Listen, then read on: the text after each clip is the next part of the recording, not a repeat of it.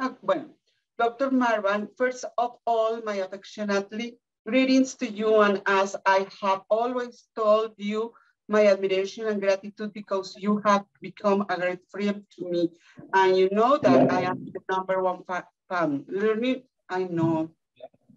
See, learning from uh, you uh, has been a blessing because you are a great reference of the world of endodontics. Sube la, sube, más, Pati. Más. Eh, sí, sube más. Más. Uh, thank you for your generosity, uh, for your time, and for your teachings. Okay, good morning um, for all. Dr. Marwan, uh, first of all, my uh, affectionate greetings to you. And as I have always told you, my admiration and gratitude because you have become a great friend to me. And you know that I am your number one fan. Uh, learning from you has a blessing because you are a great reference of, for the world of endodontics. Thank you. Uh, thank you for your generosity, uh, for your time, and for your teachings. I'm sure that the new generations of future endodontics who are aiming us uh, today uh, will enjoy and learn a lot from you. Um, I know that many of your students have been people who have also carried endodontics very high standards and they have great admiration uh, and respect for you. Um, today I have a surprise for you because uh, there is some who, uh, uh someone who estimates you very much and wants to greet you.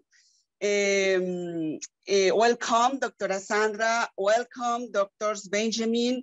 Uh, welcome, Dr. Kuttler. Uh, it's the honor to have you oh, with mean, us. Welcome, you mean Sergio, Sergio is there?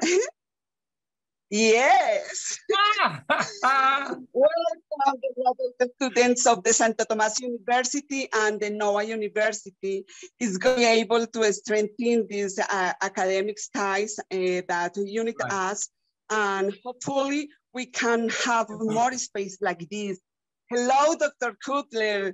Uh, nice to see you. Um, Dr. Abou-Rass, uh, the audience is yours. Okay, very good. So are you saying Sergio Kepler is there? Is he listening to me?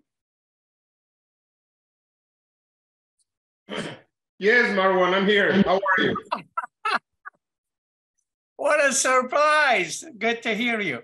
Sorry. First of nice, all, nice to see great. you. You look great. That's great. That's great, my friend. Go ahead. Okay. Listen, I am happy. I am most happy. And thank you, Patricia, Thank you so much for this opportunity. Uh, I tell you, since my last trip there, Colombia is always in my heart, and you are always in my mind. And I always wish you the best. And I follow the news, whether it is dentistry or otherwise. You guys are great people. You are a great nation.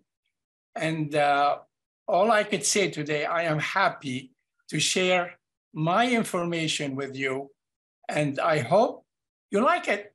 If you don't, let me know. We will discuss it more in the future.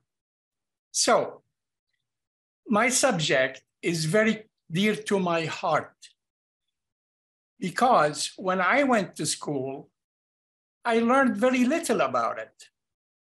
And then later on, when I became in graduate school of prosthodontics and endodontics in Pittsburgh, Pennsylvania, and later on in California, I really investigated this issue.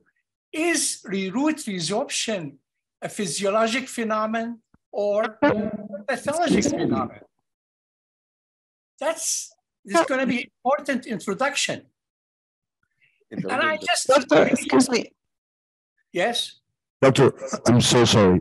Um, well, we're going to have to like make some pauses so we can translate. Uh, yes. Okay. Okay. Tell me when to stop. okay. okay. Like uh, I'll like if you go if you go like with sentences, I can and you stop then I can translate.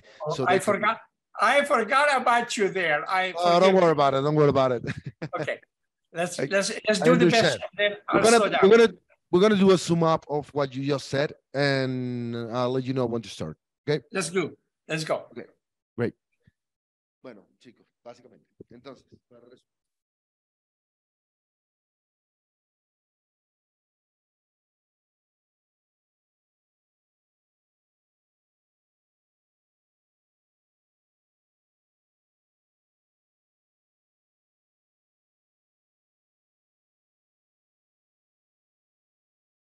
I'm ready. Okay, he, he- could tell me, okay, so I could start. Okay. Now, You want me to start? Yeah, can you start? Yeah, tell, tell the translator to tell me, okay. So, or who's gonna tell me, okay, so to stop and go? Okay, uh, uh, I like I'll give you an okay when to stop and when to Yes. start again. Tell me, Okay, okay. awesome. Thank you. You could, you could also say, okay, for stop, to stop, no problem. Okay, just use okay to, for me to stop and go. Okay, so, so what we learned in our undergraduate education, so recently I gave a survey to dental students.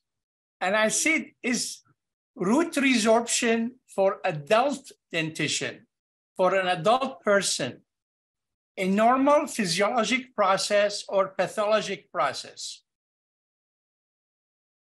And the answer was 100% normal physiologic process. Okay, go ahead.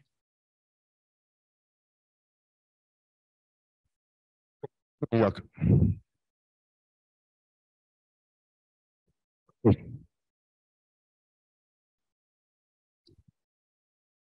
Okay, okay. Continue, continue, Like, like, don't stop and just go on. Okay, Okay, don't worry about it. You want me to- work. you want me not to stop, just continue? I'll go slowly? Yeah, basically that. Okay, so. Is, how many types of resorption do we have in clinical dentistry? So when I say clinical dentistry, I mean endo, perio, ortho, prosto, oral pathology, and pedodontics or replantation how many types we have? Well, what we're going to learn today, a classification which we developed at the University of Southern California when I was there. And I've been working on it the past 20 years. And I am so happy to share it with you. So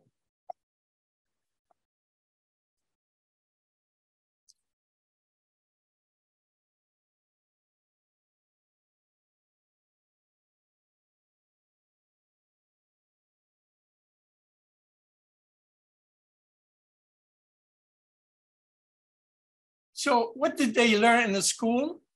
That it is a normal physiologic phenomenon. They thought about it as if, if it's strange, will be idiopathic. And we learned this basically the three types. And we depended only on radiographs to diagnose it. It was radiographic diagnosis. Used a two-dimensional X-ray to diagnose a three-dimensional reality. And that X-ray is not acceptable because you will know at the end of this lecture that any resorption defect less than three millimeters will not show on the radiograph. It has to be bigger than three millimeter. And what we see on x-rays, what you diagnose every day on x-rays is only 25% of the reality.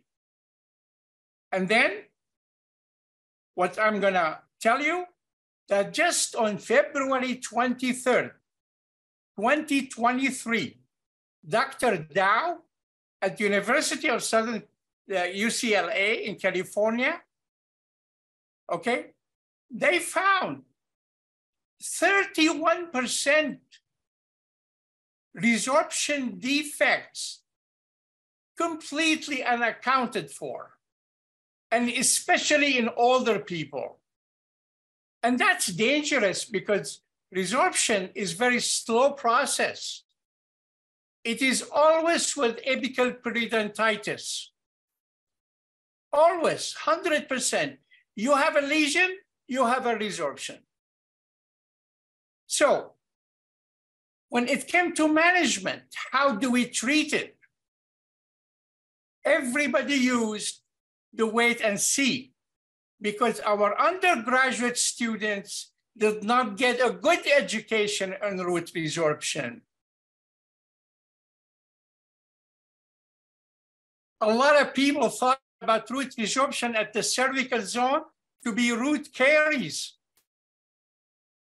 And they repaired it with amalgam or composites. I have cases to show that.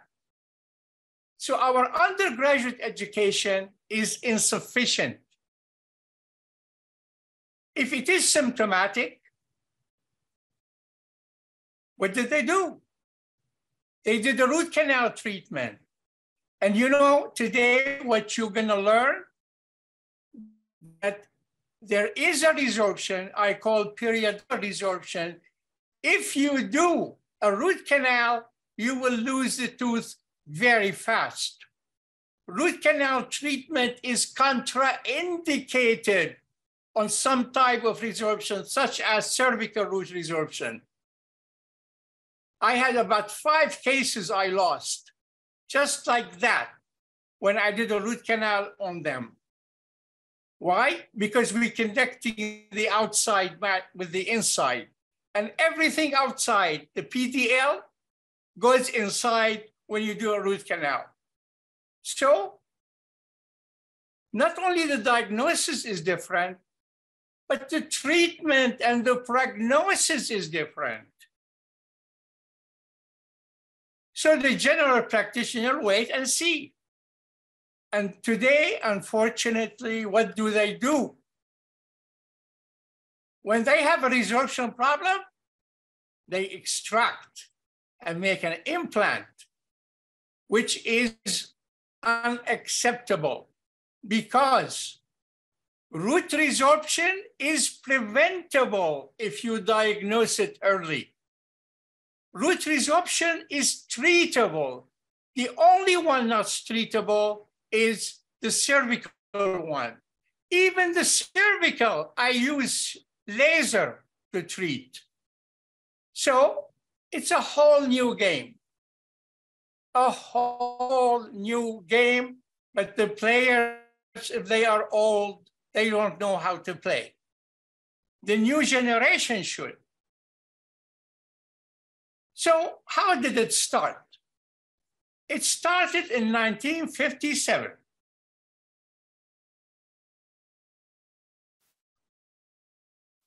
In 1957, a man named Behring and Leip, there was a magazine called Kodak, Kodak Photography and X Radiology. And they are the one who gave us those schematics you're gonna see in a minute. And then in 1976, Gartner came up with their guidelines.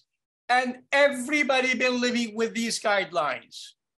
The radiographic guidelines that we all learned, and I am sorry to tell you, question mark. This is Behring and Leip guidelines in 1957. The differentiation between internal and external. It is anecdotal. It's not research, it's picture. And you see it in every textbook and in every school and every curriculum. Gartner did the best work. Gartner studies, this is Gartner's in 1976. They tried to make sense of it. But unfortunately, it's a PA. PA, periapical radiograph, two-dimensional. And what you see, what do you have as a doctor in the clinic? What do you have? You have your eyes, you have a mirror, you have Explorer, you have a perio probe. You don't have a microscope. And you will see now how unfortunate the literature is.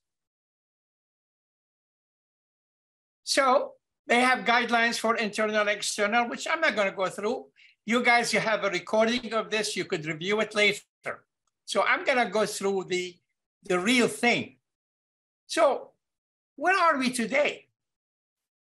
Today, I'm going to tell you every dental specialty, clinical, endo, perio, resto, oral implantology, and replantation, which is basically pediatric dentistry, oral surgery, etc., have a problem with root resorption. And tonight, I'm sorry, this morning, from now till noontime, we're going to spend time talk about that. So we have six specialties. They all, each specialty have a problem and they all have a solution for it. We at USC, when I trained graduate residents and then later on overseas in Saudi Arabia, we basically teach them the core, the knowledge that we learned. We as endodontists know how to deal with root resorption, the so-called AP resorption. The orthodontists know, but this information is not available to GP, and that's very bad because the general practitioner, if they don't know what to do, they will extract and they will do implant or a bridge. And we don't want them to do that. We want them to do endo. We want them to refer to the specialist. So the specialist must teach the GP not to extract, help them, and they will reciprocate. So I call it evidence-based knowledge. So what's evidence-based knowledge? You're gonna see it today with every discipline. And as I say, this information should be available to the GP and the dental hygienist. Root resorption is well known. We know the etiology. Root resorption is a pathologic complication. Root resorption is a result of substandard endodontic treatment. When you do bad endo, you will develop AP, and with every AP, there is apical resorption. When orthodontics is aggressive and they have too much forces to move the teeth, that will cause resorption. With Invisalign, zero resorption. Why? Because it's interrupted movement and it is only a very, very gentle force. And we will, you know, I investigated all of that. I, I am an endodontist, but I went to the ortho literature, I went to the perio literature, I went to the implantology, the oral pathology, and I got from them what's relevant to us in endodontics, what's relevant to us as a clinician. That's what's important. Okay? majority of referrer for me when I was in A was from orthodontist and other specialists, not GP, GP extracts. So what is a substandard of care? I said to you, bad care. So when you do bad material, you know, many years ago, calcium hydroxide in pulp capping caused root resorption, internal resorption. We know that. Today, many materials, many methods could cause that problem. So substandard outcome, incorrect diagnosis, lack of preventive care, lack of timely treatment to treat on time early, and failure to follow up. So, so here we are.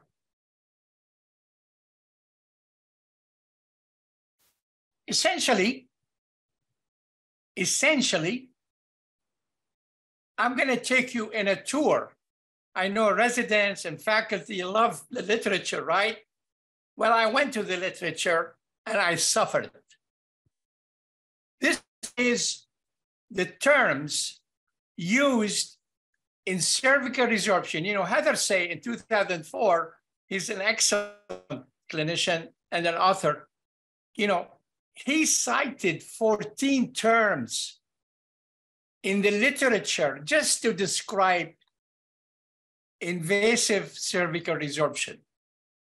Look at those terms, odontoclastoma, fibrous dysplasia. You see the mix of histology with clinical. You see the mix of histology with location.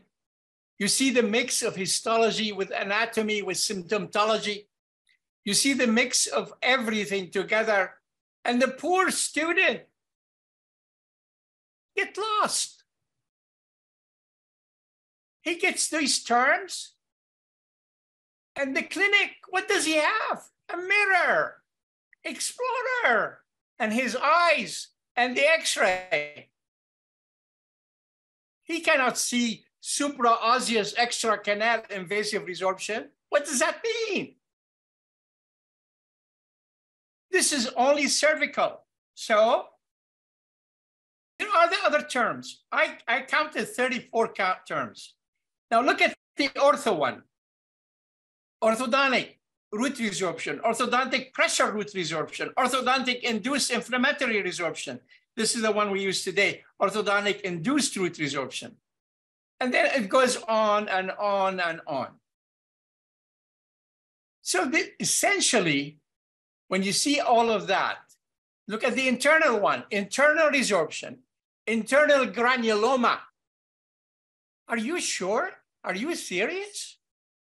Idiopathic intermittent resorption, intermittent, symptomatic. Chronic perforating hyperplasia of the pulp, pink spot. And 90% of dental students throughout the world when you say internal resorption, they say the pink tooth. This is not education. This is not education. The general practitioner must have better education than this because the general practitioner has, you will see how much resorption in their practice and they do not know it. And who to blame? The specialist, because the specialist is not teaching the specialist is trying to protect their, their knowledge, I guess, in different specialties. So spontaneous, etc., etc. So this is just give you example why I don't like what I see. So what did I do at, at uh, USC? At USC, I said basically it's a problem based. We in endo have apical periodontitis, and that resolved with Tronstad said 100% every time you have AP, microscopically 80% he showed root resorption. And the x-ray, forget about it. So basically we have a problem in endo caused by endodontic, either pathology necrosis, periapical lesion, bad endodontic treatment. So it's an endo cause. Orthodontic, periodontic. So basically by the discipline. It's a problem based. So essentially we have six types. Endoresorption, perioresorption, orthoresorption, replantation resorption, oral pathology resorption. You'll see them one by one. This is what we're going to do the next two hours or whatever. Okay. And we're going to start with endodontic resorption. I'm gonna try to stop at each segment. That was an introduction. Do we have any questions on the introduction?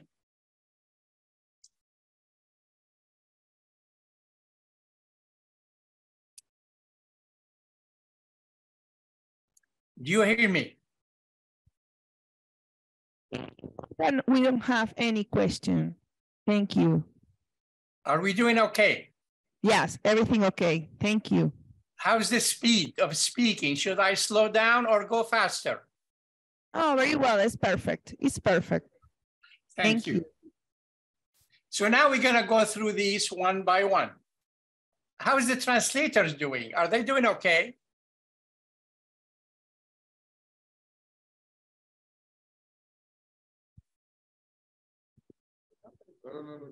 Otherwise, I will- it's going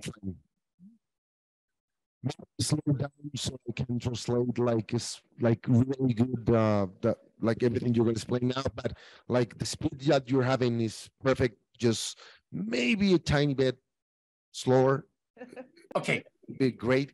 Awesome, thank thank you. you. Thank you for helping me in this. Uh, let me just tell you, when we go through the slides, there's too much writing, too much information. I'm not gonna read the slides and you go, don't worry about the slides. Let's focus on the pictures, the x-rays and what I say. Okay. So Thank you. So now we start with our specialty, endodontic resorption. Igor's thesis and uh, Dr. Foss in 2009, I guess, or 2004, they did an interesting study. Okay. They basically surveyed 712 patients, Dr. Tesis, and 20,000 x-rays, periapicals, which is good. And Igor published it in the journal, uh, I think, international, in the Quintessence. They published it in the Quintessence. It's a very good article. You should see it.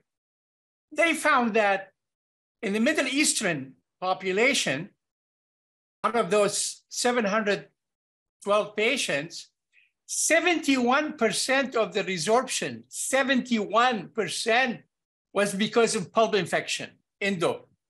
I call it endo, they call it pulp infection. 14% because of ortho. 9% because impaction of the third molar, pressure. 3% because of period. Aha, we are in the same language. So let's look at endo. Endo is the biggest resorption we have. Here is what I'm gonna cover.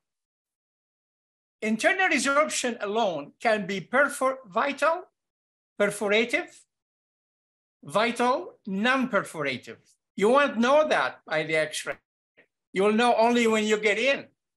And you get in and you'll find your files going lateral and continuous bleeding or none. Non-vital, perforative, non-perforative. AP, external endodontic resorption at the apex or periradicular. Here are six possible diagnoses. Do general practitioners know that? They don't. Okay, so let's now, what we're gonna do, we're gonna actually go through cases. So internal resorption, okay, include vital, non-vital, as I in indicated, and basically is caused by physical, bacterial, thermal, pathologic injury to the dental pulp. Pulp injury cause internal resorption. Now, it involves the pulp cavity, tissue, and surfaces. The prevalence here is a good news. Many years ago, the percentage was 1 to 5%, 3%. Guess what? Dr. Dow in UCLA in February 2023, she just found, and her group, by the way, the study is fantastic because it was CBCT done based on the CBCT radiographic report. So it's like a, a specialist reading those CBCT. They found 9% internal resorption. And they found 13% apical. So that's 21. The incidence of internal resorption today is 1 to 3%. Why? Because we do not hurt the pulp as we used to back in the 70s and 80s. Today, the mechanics of doing full crown preparation is either done on adults, it used to be done on young people, as you will see in a minute. So it's very invasive. Here's a case of resorption. Was a pulp cap. This is a pulp cap. I removed the crown. I removed the restoration. I found a pulp cap and here, and then it was perforated down to the furcation. This is important. It's initiated by trauma. Trauma, pulp exposure, pulp capping, chemicals, or thermal injury. Sustained by bacteria. That's important. So it is basically hyperplastic. The best research on it is done by Dr., in my opinion, Wedenberg and Lindskog. This is classic research. The problem we have today, when you go into the internet, like we, every, the whole world started in 2000 or 1995. You do not find these articles. And these are the classic article, the good controlled study from Scandinavia, etc. Okay, so here are some references if you want to go and follow up. It's basically trauma sustained with bacteria. That's all you want to know about it. And now I'm going to show you some cases. So how do I diagnose?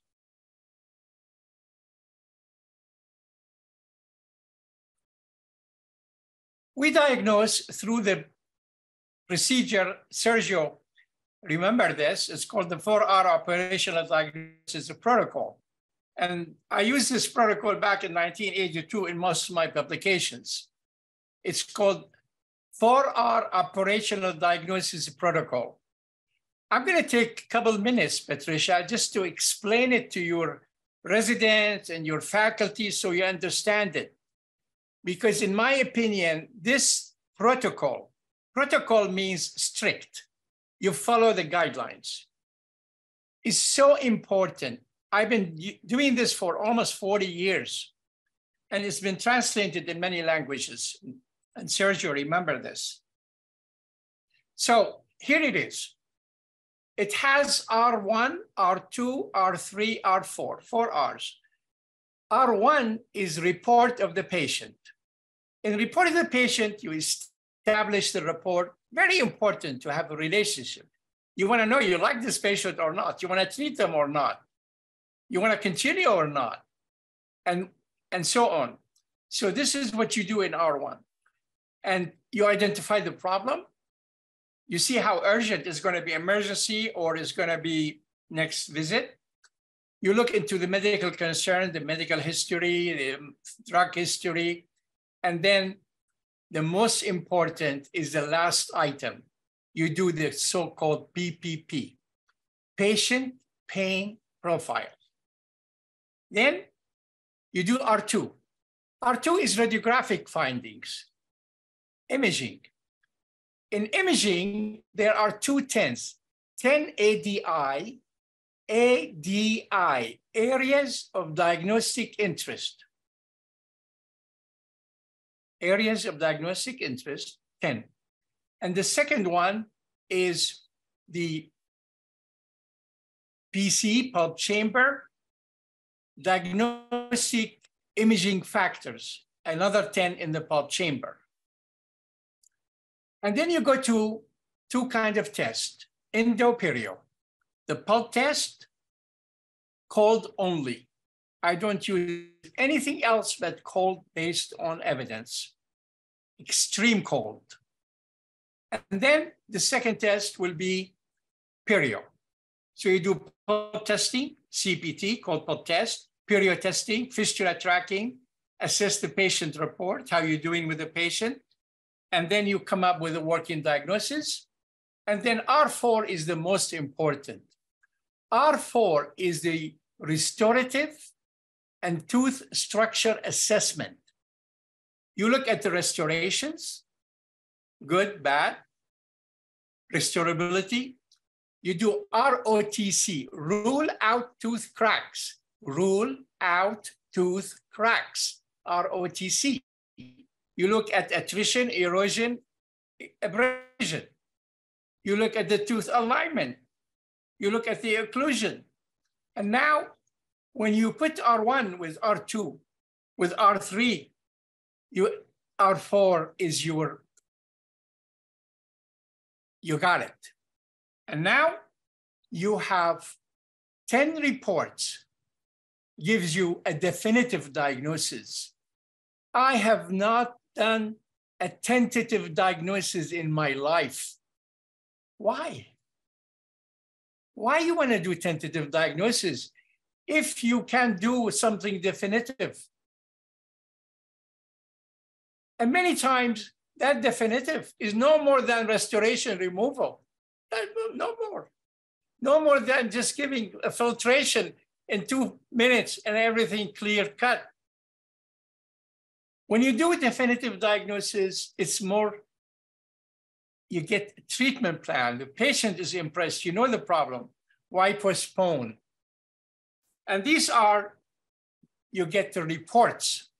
You get medical reports. There's 10 reports you get from that.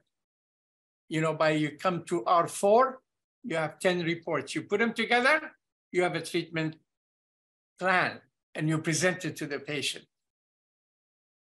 So the most important part of that is this. This is the PPP. This is something I did when I was in Pittsburgh and then in California. We revised this seven times. I just revised it recently. When we were in the program, it, we had it translated into Spanish, we had it translated into Italian because, you know, I had residents from different countries. And recently they're doing it in Arabic, etc. So why is it color coded? From 1 to 16, the yellow is the basically the patient history. They tell you all about their history, and you could read them. Basically, I had this, and I had many feelings, and I had some surgery, and I had, etc. But this is the key. The key is in color. Traffic signals. The green is reversible. Go. You're not going to need endo. So what are you looking for? The patient will check, check marks. These are verbal descriptors for the patient's symptoms. So if they check 17, 20, 21, 24, and nothing else, then you know they have a reversible pulpitis. These are the statements, the descriptions that describe reversible pulpitis. It worked. And I had my students, my residents at that time, we, we, we did a lot of work on this. Then you go to the orange. The orange, when you see the check marks here, that means it's becoming to reverse, irreversible pulpitis. Here.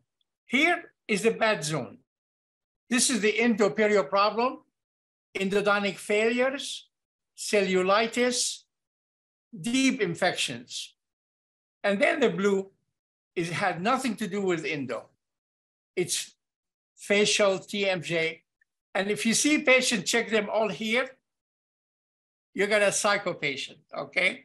So anyway, this is now, we're gonna use this with every patient. So I'm, I explained it now so I don't have to go through it when you see it again. Okay.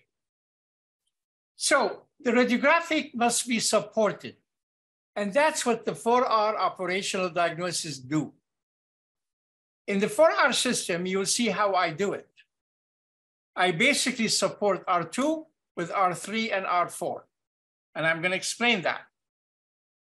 These are my cases. None of those from anybody else. All of these I treated in my clinic throughout the years. And I know because I you're going to see some of them now. These are clinically confirmed external resorption cases. I did them. Okay. Do not always comply with conventional Gartner and other guidelines. These guidelines, you know, this is supposed to be, this is external. So let's look now at internal. This is now all internal. You're going to see them. Look at this one, doesn't look internal. It's ragged. Looks like external. When I treated this patient, you'll see in a minute, I really thought it's going to be external. Here, looks like we have a cervical problem. Again, the problem is radiographic examination does not comply, okay, with the reality of what you actually see. So let's see some cases. Here's our first patient. Here's the patient. This patient, when he was young, had crowns. This is before the crowns. This is a long time ago. These are teaching cases. After the crowns, he developed these pathologies. Okay. And this is the pain history. This is how you read it. Let me give you the profile of this. I have pain. I had my filling done in California. The pain prevents me from sleeping. The pain comes and goes. I notice the pain during weeks. The pain occurs only when I take cold liquids. The pain is getting worse and constant. The pain occurs spontaneously by itself. The pain awakened me at night. She is going to the orange zone. And then the pain is causing me headaches. Okay?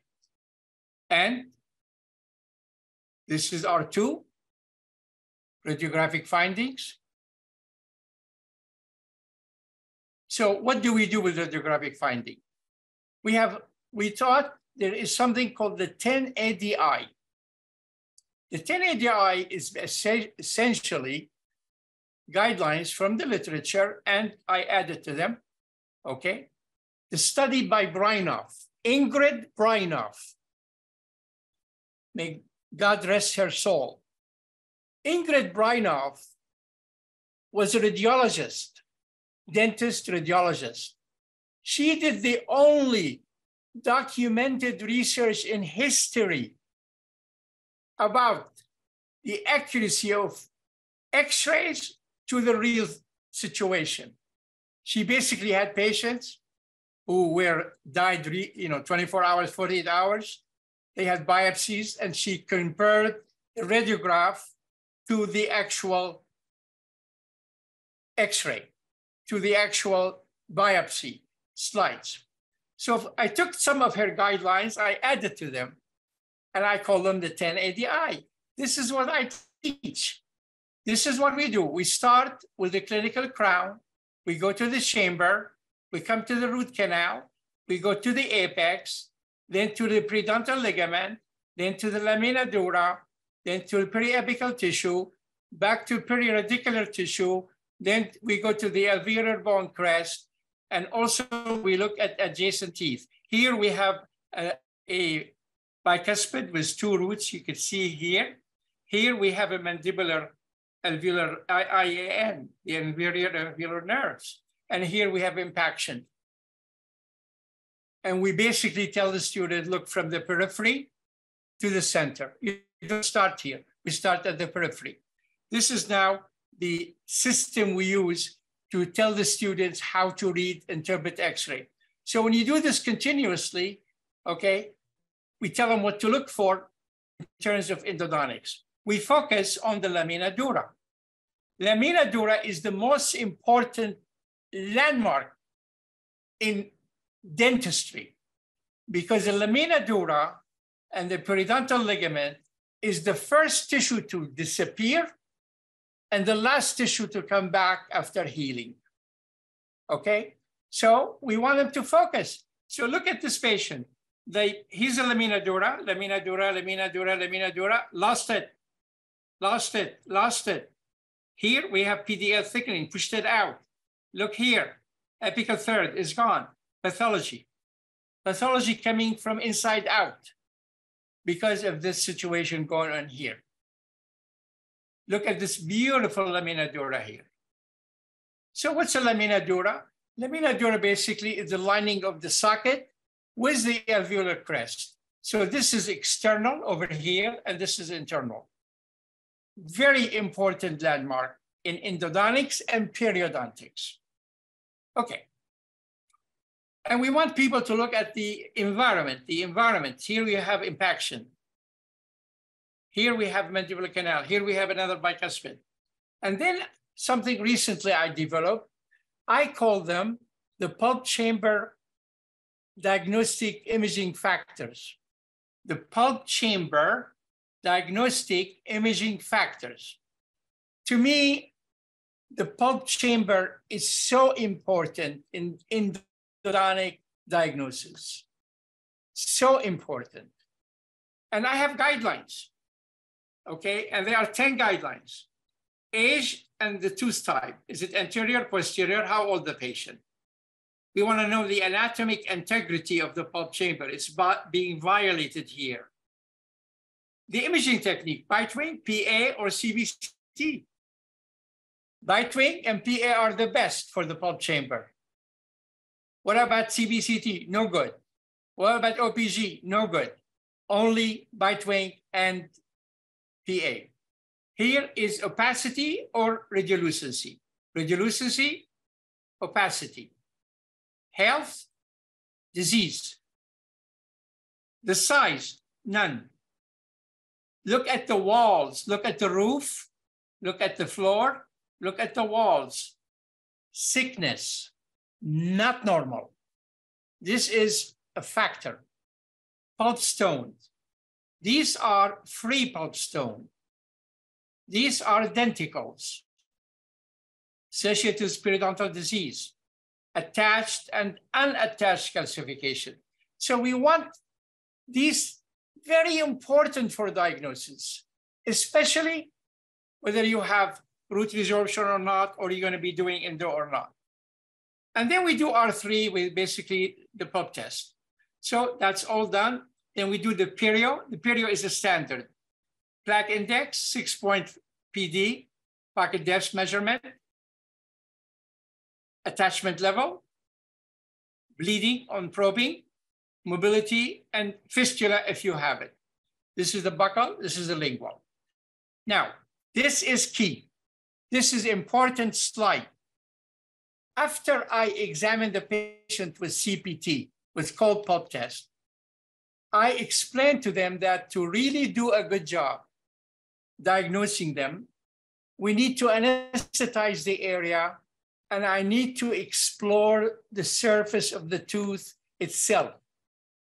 And that's how I differentiate between internal and external. So following this, we anesthetize the buccal and lingual. This is what I said, R3 support R2. Rule out external resorption by cavitation test, and then so on and so forth. We did this to the buccal, we did this to the lingual, and we continue. And then we come to R4, and then endodontic was done, and so forth. Second case, this is the patient. Here, now we're gonna go a little bit faster now. This patient had orthodontic treatment, and then she had a trauma. This tooth was extruded, intrus intrusive. You see it intrusive, intruded. Now, and you have this defect. Okay. I basically expected this to be external root resorption. But look, every time you have external, you will have a pocket. You will have a bleeding. Look at this beautiful gingiva. Look at this health. We probe, nothing. And endodontic treatment, and you can see the closure. This was non-vital, this is it, non-vital, non-perforative internal resorption. So this was a resorption going on internal. Then she got trauma. The pulp died. It stopped. Resorption stopped, but we still have the discoloration and the problem. Okay, this is another case. This patient came to us with this defect. Okay. Examined the patient. They said they had this x-ray 10, 15 years before, and they had the fistula tract. I treated the case, laid the flap, examined the area, and this is the fistula tract before, and this is after. Basically, it was perforative. The internal resorption perforated into the periodontal ligament space. The pulp died, stopped. Nature did its own root canal. That's perforative, non-vital internal resorption. Okay? And this is showing you the healing after I basically bleached endodontic and bleached the tooth. Then we come to our most important entity. That is AP. Believe it or not, you're all familiar with the literature, but it's so important that before 1990, doctors, there was a lot of people thought that granuloma is sterile. Would you believe that? They believe that apical granuloma, if the patient is asymptomatic, is sterile.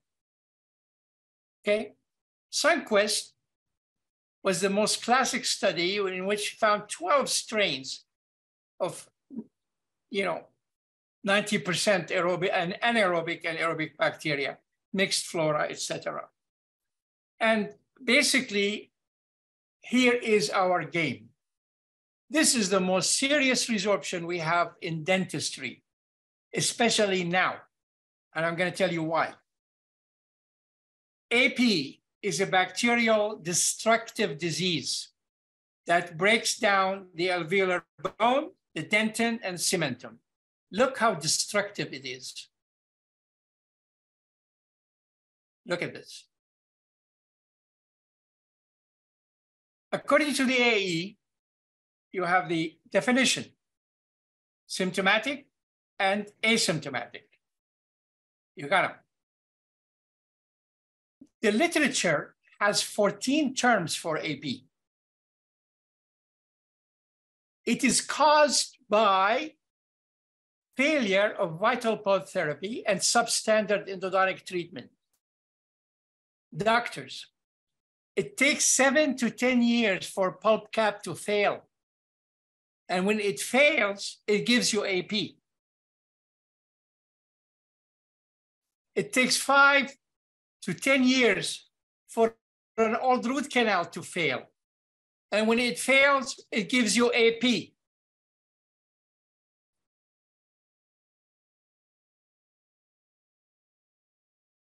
Crown preparations, 10 to 13%. Eventually, the tooth will develop necrosis. and then you get AP.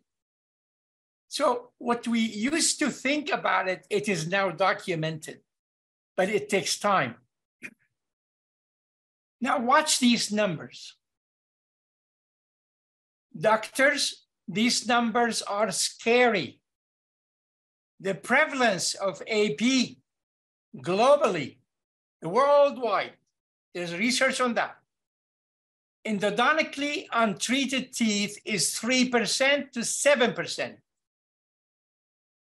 I looked at every country. I have surveyed every country GP do root canals. 80% of root canals done by general practitioners in the United States, 20 million, 17 to 20 millions every year, 70 to 80% done by GP. Canada, the same. Brazil, you name it, same. Listen to this the global prevalence of AP in endodontically treated teeth is 24 to 60%. 60%. When you do bad endo, you're going to have 60% AP. That means with AP, you have root resorption. And you know the consequences in a minute. So this is not good. Why are dentists doing substandard endodontics? Because the quality of education is inferior. They're not getting good education, in my opinion, at least the places I've gone through. And you know, the pulp, it's the pulp. It's the pulp the cause. The pulp is the cause. And you have all kinds of pulp. Chronic, inflamed, necrotic, and you don't know that with, the, with, with your patient. Endodontic disease is very slow disease. AP is 100% asymptomatic. It's episodic. It flares up and then settles down. And if we wait and see, if that's our education, ask the patient, does it hurt? Patients say no. Okay, we keep an eye on it. This is bad. You are teaching the patients not to do anything when you say, okay, we watch it. You don't watch disease, you treat it, you prevent it.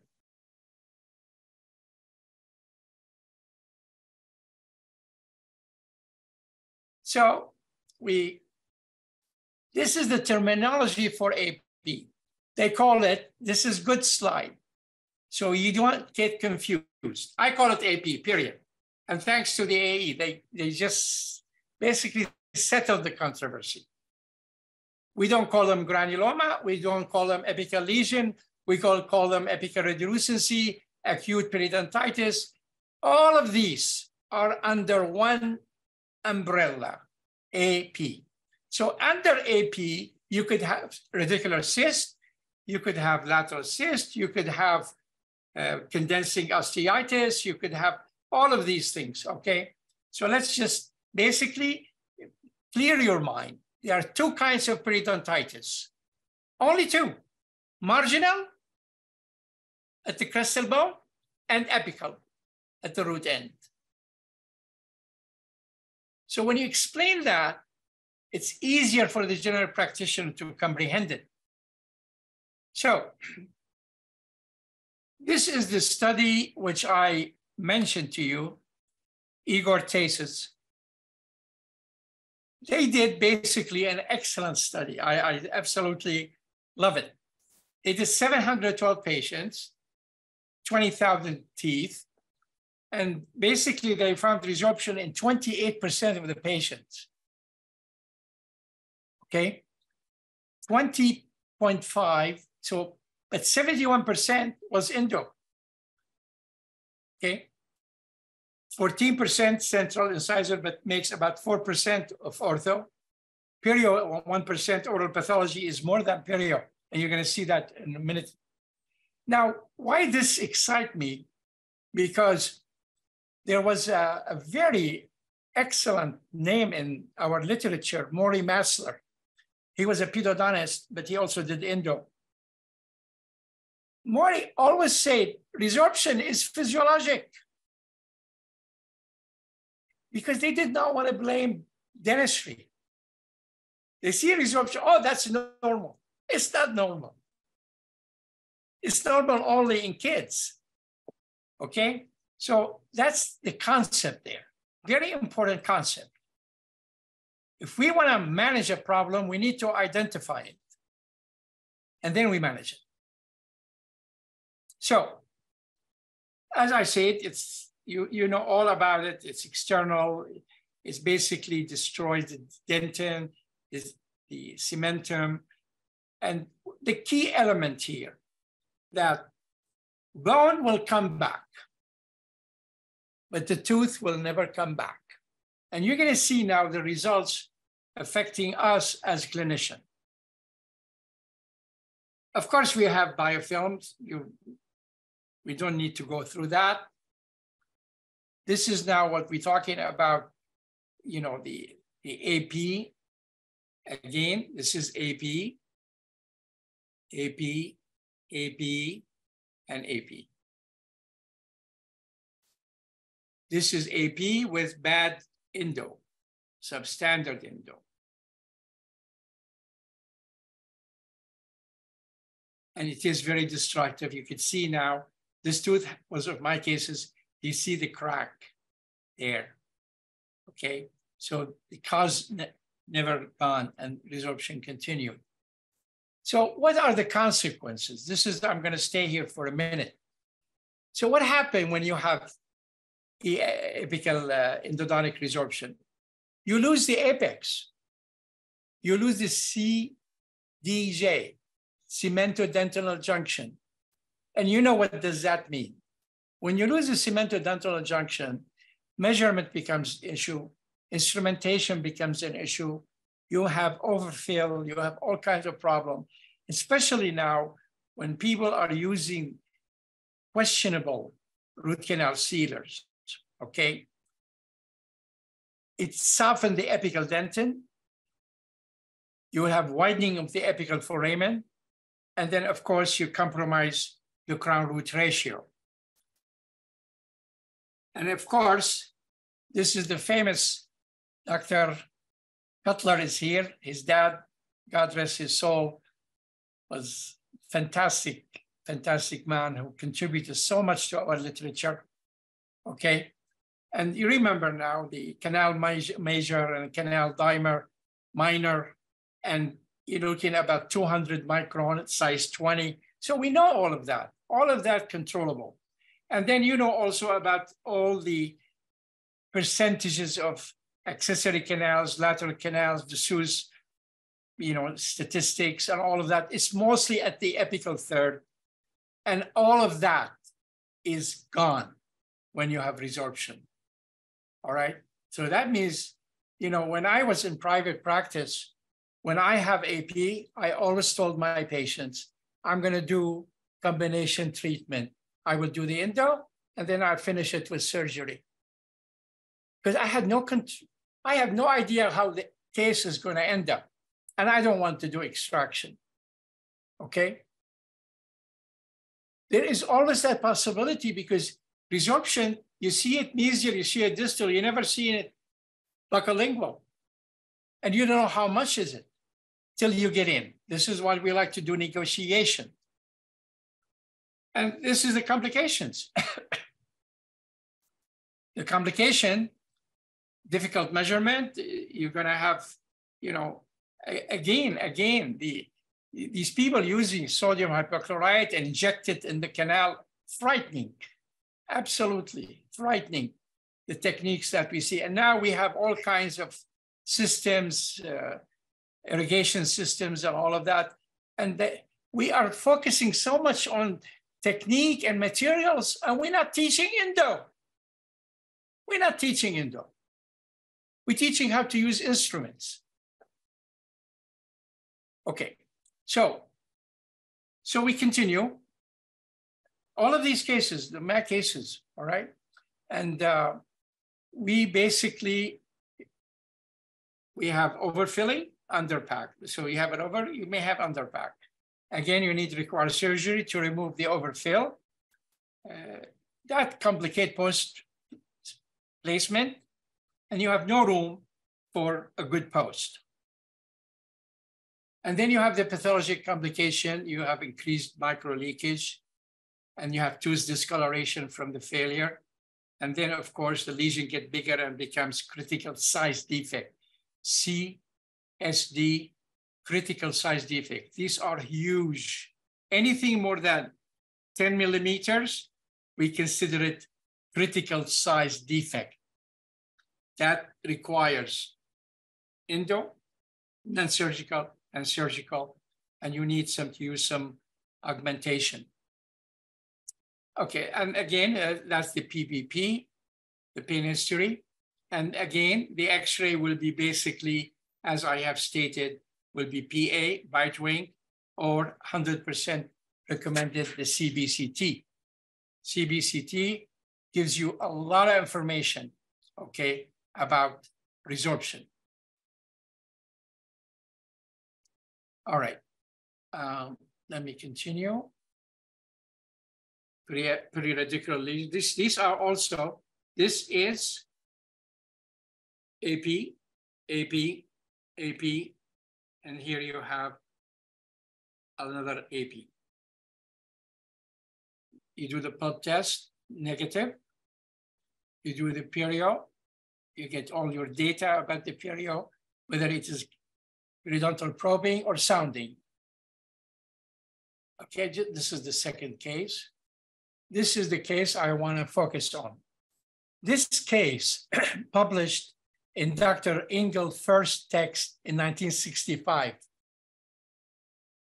It was doing, uh, it was a courtesy from Dr. Clifford Ames in 65. This is published in his book, which I have. I just want to stay here for a minute.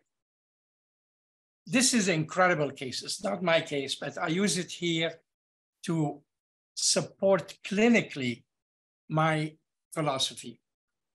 This patient had lesion and had resorption. You see here the cratering. They use gutta and they use silver point.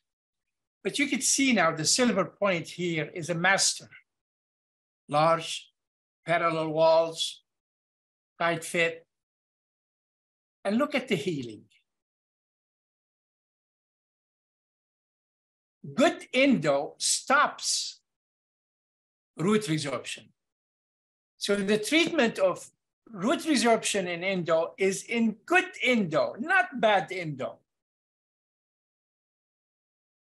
But the bone came back. Look at the lamina dura, came back. Look at it here, it's gone. Look at it here, gone. Here, coming back, slowly. Even here, coming back. So the bone will come back, the bone will regenerate, but the tooth will not. Okay? And don't tell me an implant is the answer. Your tooth is the answer. Okay? Especially, we know what is the situation with implantology, survival versus failure, et cetera, et cetera. This is one of my cases. Again, AP, Okay, sorry to interrupt. Uh, yeah, that place. Um, the, the material that that it was it was used on the left. No, no, no, the one before. Yeah, that one. Um, on the shoulder one, on the shoulder one, uh, the one that had the reabsorption. Uh, what material did they use there? They use gutta percha here. Yeah. With, Z, with ZOST. This is back from 60s, 1965. Yeah. And okay. silver point. This is silver point. And they, they at silver that time, point. they at that time they used silver point. And okay. the silver point they used at that time, it was large size, and they basically machined by hand the canal so the silver point will fit perfectly oh. at the apex and the body. And cemented, and cemented with you know, zinc phosphate. Okay, let me explain that to them. Thank you, Doc. Yes. This is like a history. The reason I'm showing you this, how the endo good endo stops resorption, stops it, but does not stop perioresorption. It makes it worse. Okay, we continue. All right. This is again one of my cases. This case was actually destined to extraction, and I told the patient, I convinced the patient to treat her. We did basically combination endo and surgery. All right. And I want you to see here the body reaction. Here you see pathology huge. This is critical size defects, all right? Look at this tooth here. got injury, and then again, the calcification, look at there, no pulp chamber. It's all calcified. Here you have a big lesion. So anyway, make a long story short, this is my treatment. Combination, retrofill and apical trimming and condensation, period. First, you can see the crown root ratio. This patient still have the tooth till now, 20 years. What I'm trying to say to you, and please pay attention carefully. We in endo do not need bone augmentation. Endodontic treatment does the best bone regeneration. This bone here is denser bone. Doc, and sorry to interrupt Yes. you again. Like, what? uh, we, got some so we don't understand what you said. Uh, like in the endodontic, we don't need Uh, what was the question again? I don't hear you, sir. Can you hear me now? Can you hear me now? Can you hear me now? Can Yes, I do. Okay, perfect. Um, you were saying like, like you were making a lot of emphasis uh, on what they don't, uh, they don't do on endodontic or what don't not supposed to do. But after that, we couldn't hear you. Okay. what I'm trying to say to everybody that good endodontic treatment provide the best bone for implant dentistry. Because if this doctor now wants to extract this tooth, this bone is excellent. Okay? endodontic treatment regenerate the bone from the patient. You'll see this in a minute. Here's another case. This case. This patient here, 75 years old. She was referred to me for emergency care. The dentist in Pasadena was planning to extract this tooth and place an implant. But the patient developed symptoms before they went to the implant doctor. The dentist sent me the patient to take care of her. She came to me and she said, Dr. Marwan, do I really need to lose this tooth? I said, you know, it looks calcified, it looks old, you have a big abscess. Sometimes, you know, we try root canal and you are having pain now. So let me open the tooth. Let me just open it and do emergency. So I made an access opening and this is how far I was able to go, only to here. I drained it, okay, and then basically I closed it. It took me two visits. Then the patient disappeared for eight months, six months. She came back to me eight months later like this. And she said to me, I'm gonna later on have this tooth removed and do implant. I said, fine, you could do that. And now, if you do, you don't have to go to the sinus, you don't have to use the long implant, you have good bone. And the doctor said, thank you. And they removed the tooth and placed an implant. So, what is my story I am telling you? Endodontic treatment can be used for a variety of reasons to eliminate pain and to restore AP and to regenerate bone. And that's what I call the interim endo philosophy. This is one of them to show you that only we need, look, I don't even have a retrofill. This was calcified. All I had to do was a curettage, curettage, and this is the result. It was good for about a year. And what did we gain? We gain a new bone, the patient's bone, no augmentation. Okay. All right, here's another case. And you go there. And this is another case also in which you have a silver point pushed out, defective root canal, two canals. Here's the fistula tract, goes right there. Basically, I laid a flap. I removed the silver point. I removed it with a, with a hemostat, moved it out this way. And then I placed retrofill in its place and you can see the healing right there, okay? And now the dentist can do whatever they want, whether they want. This is show you that we can treat AP successfully, okay? And you know the percentage, is the 90%. And if you do good surgery, is a 90% also. Okay, we finished endoresorption we have any questions on endoresorption?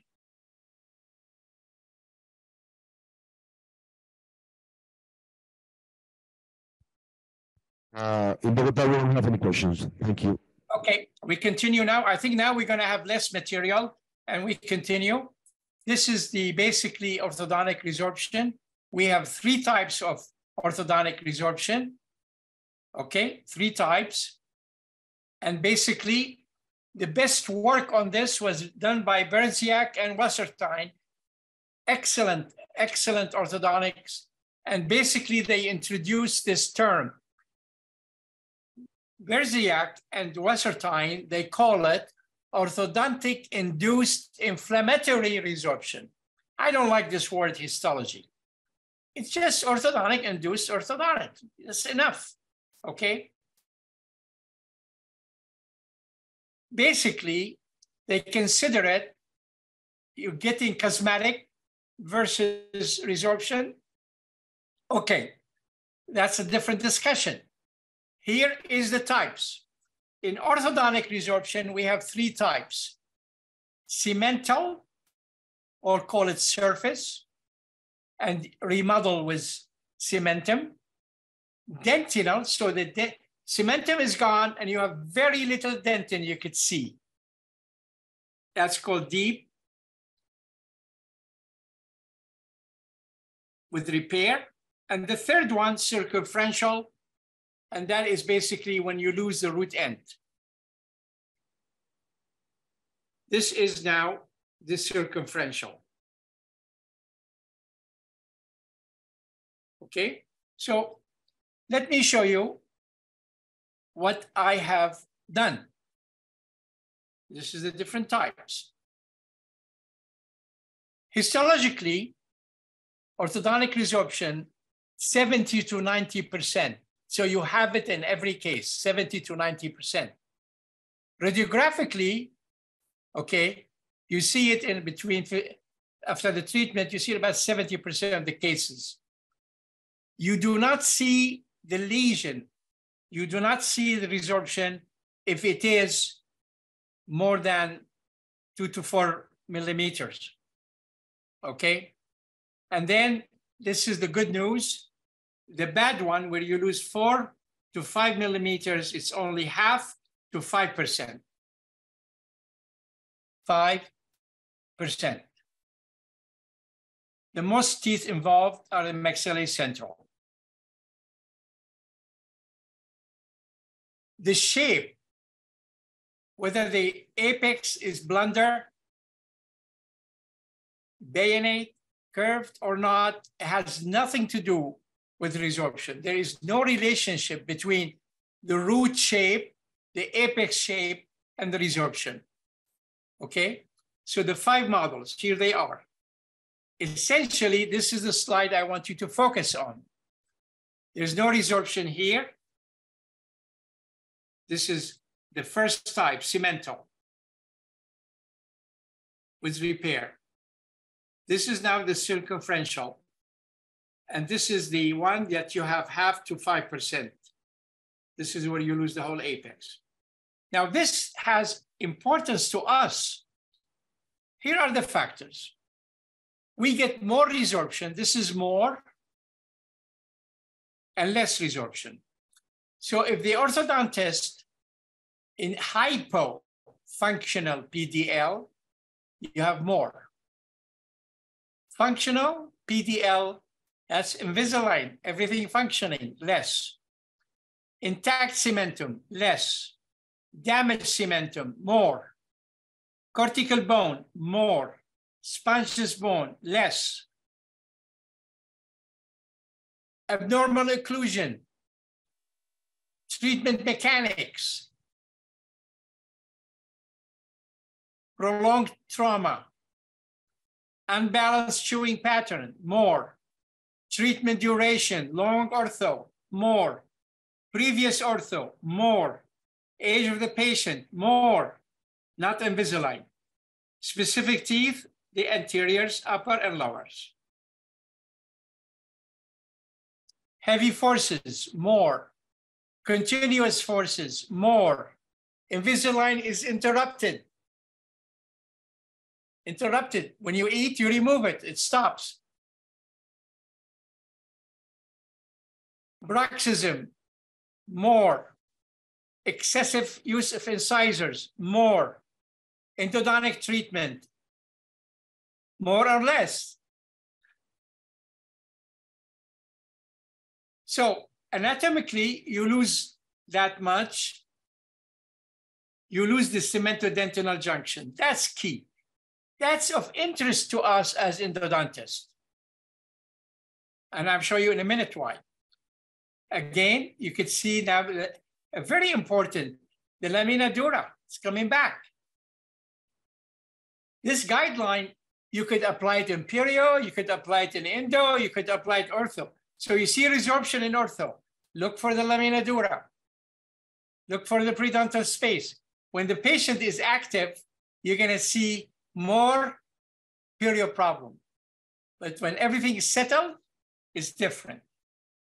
Again, top testing, especially important. You need to test CPT. Okay? Don't trust, you know, I, have seen orthodontists don't they even take x-rays before and after. So you need to do the test. So basically, you will have compromised crown root ratio. This is a patient here, which I seen recently. She had most of her dentition, you know, lengthy treatment and very aggressive. This is what I call it invasive orthodontic treatment. Okay, thank God it's not everywhere, okay? All right, this is why interest to us. Now, you lose the C cemento-dental injunction with orthodontic resorption. But what happens, doctor, if you don't have pathology, they, you have regeneration of cementum, okay? And if from some reason you're doing endo, that cementum is basically closing a very large foramen. So you go in and you see some resistance. But if you accidentally perforate the cementum that regenerated, the canal goes from size 20 at the apex to size 90. Boom. And now you have a major situation. And then you have to now try your test totally different. This is one of the cases I did. You see the cratering, okay? Then you no longer can use the measurement techniques. You have really tried to do a combination trial. So basically you lose this and you have pulp pathology, AP, and then open apex, and the prognosis is good. Okay, you pulp test, and the basically the diagnostics, we already mentioned all of that. Okay, and the imaging. Something else I found, uh, Dr. Sameshima from USC, he found something interesting. He said that the OPG showed 20% more resorption than periapical films. So you want to tell, you don't want to read resorption in OPG. You want to read resorption in PA or CBCT. We know that. OPG is difficult to determine root shape. Periapical radiograph are more accurate. We agree. Okay, now this is my case. Case, I don't mean me. This is one of my patients. I want you to see this. This is the OPG. This is OPG, orthopentagram, okay?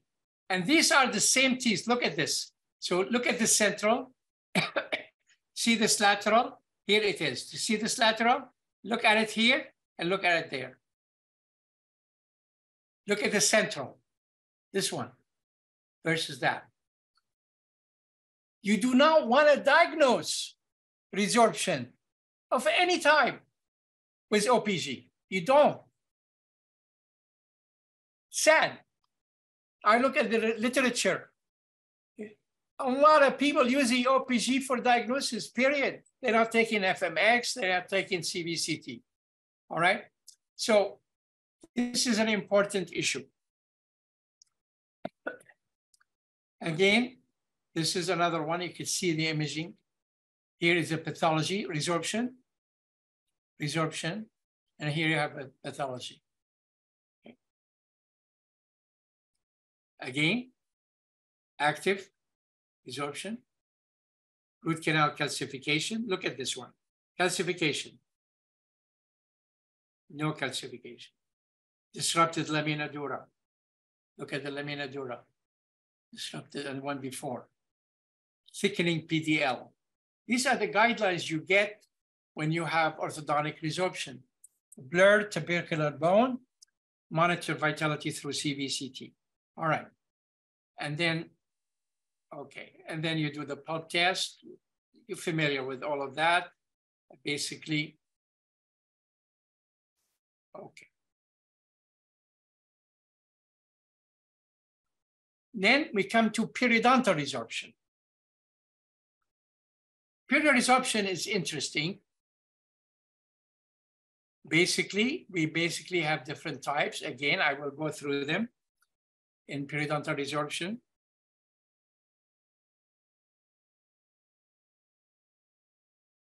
This is periodontal resorption, and we're going to treat this case in a few minutes. Etiology, basically, crushing, compression, cauterization, and infection to the periodontal ligament.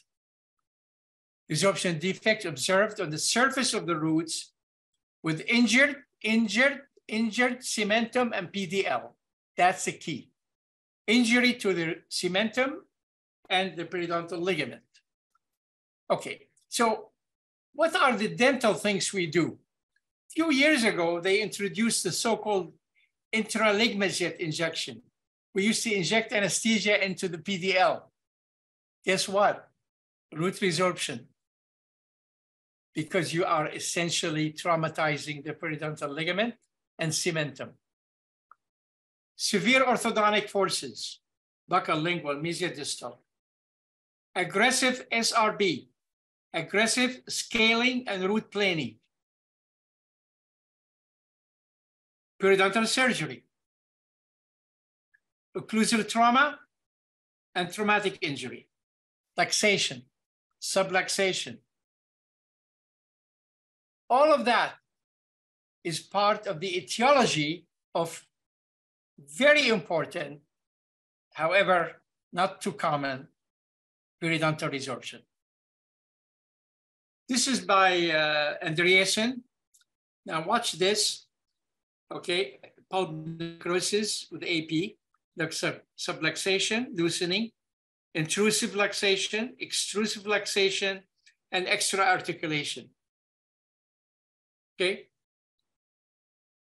And you could see now 80 to 90% when you have avulsion, extra articulation, of course. Look at it now when you have localized cementum necrosis. Yes. but you also still get periodontal resorption. And here, with the relaxation, intrusion, and you also get resorption. So we have to do trauma. So periodontal disease, this is all the etiology we went through. This is periodontal di disease resorption right here. You can see now how the bone, we lost a lot of tooth structure here. This is periodontal disease. This is periodontal disease. We did the root canal. Look at that. We have a closure, but look at this. Look how much tooth structure resorbed. This lesion, periodontal disease, yeah, periodontal disease everywhere, lost a lot of tooth structure. Part of etiology, bleaching chemicals, endodontic filling heat instruments, tetracycline antibiotic root conditioning, citric acid etching. One of the most been reported in the literature, exposure of the dentin, 11% lingual, 23% buccal. What does that mean? The enamel and the cementum, they not, they're leaving space between them. So when you have a bleaching chemical here, it comes out and creates this resorption. All right? You're gonna have a better understanding of this in a minute. So what are the types of periodontal resorption? The most common radiographic sign of periodontal resorption is calcification of the canal. The pulp starts closing. The canal becomes narrow. Why? Invasion. Caries on the crown, resorption in the root, period resorption. And basically, you can see now resorption. In addition to that, you have the periodontal pocket. So what's so classic about periodontal resorption, you always have soft tissue damage. You have a pocket. You have a bleeding gingiva. And you have calcifying pulp. Pulp canal, calcifying, closing. okay? I want you to keep attention to this case. This is external resorption, periodontal resorption, some trauma caused here, and this is the root canal. Okay? Here is another resorption. You can see now resorption, and you see this walls of dentin, trying the pulp pulling back and trying to protect itself of course, we all know, you all know about the, you know, Andreasen and Hjørting and Hansen, you know, classification. I'll just go through it very quickly. They basically, I like it, but it's histology. I, I can't use it, okay? I'm a clinician, all right? So you have surface, you have inflammatory replacement. All resorptions are inflammatory, all of them, okay? A matter of degrees okay? But here it is. You should know about it, but it should not confuse you. You are a clinician. All right, so let me explain them to you. Surface resorption, according to Andreasen, Hjørting, and Hansen, it's a small resorption cavity on the root surface adjacent to a normal or slightly extended periodontal ligament. Like this, here, and you have it there. The second one, okay, surface resorption, you see it here. Uh, you can even see it right there. The inflammatory is ball shape. Cavity with surface associated with similar resorption cavity on the adjacent alveolar bone, like here and there. It's a ball shape. And then here it is. You can see the canal there, there. And then the third time replacement resorption, disappearance of the PDL with or without root contact. Okay, so basically it's engaged. Now, in my dictionary, okay, you'll see in a minute. So replacement resorption, here it is clinically. And of course, we mentioned about the anatomic disposition, the relationship between the enamel and cementum, cemento-dentinal junction, enamel. Of course, you're all familiar with the Heithersay classification. The only thing about it, it involves the root and the crown. Fine. It's by itself as cervical invasive resorption. All right. Here's the mechanism. The mechanism, you have the odontoblast, cementoblast, osteoblast. The, the whole idea that cementum and periodontal ligament has material known as anti-invasive factor. Anti-invasive factor. When this material is gone, dentin is exposed and then you're gonna have a problem. This is the research by Lindskog and Hammarström back in 1980, extremely important research. And, and they basically saying that the dentin class, the cementoclast, the ameloclast, the chondroclast, the osteoclast, all of these cells, okay, they, they basically cause the resorption. Once you have this protective layer of cementum and the periodontal ligament. Okay, and then we continue now. Imaging of periodontal defect, the mandible, okay, PA is ideal for detection of small defects. Okay, more than 50% defects imaged, uh, imaged by PA were not imaged by OPG. This is for perio. So if you have a perio problem, don't use the OPG, PA or wing or CBCT. Okay, uh, in 1992 did an interesting study when they did measurement, radiographic measurement with digital radiograph versus real gold, real surgery. And they found that it's very, very close. And that's why I believe Ingrid Brynolf studies are very good. There is so much, if you have a good digital radiography, you're very close to what you see in real life. All right. So here we are, some cases. Okay, we do the testing. All right. all of these, we anesthetize the buccal and we check cavitation test. This is now some of the cases we had at the school. This is my practice one on the left. And now I mentioned, look at the gingiva. There is a pocket. Look at the gingiva here, same situation, and here. All right.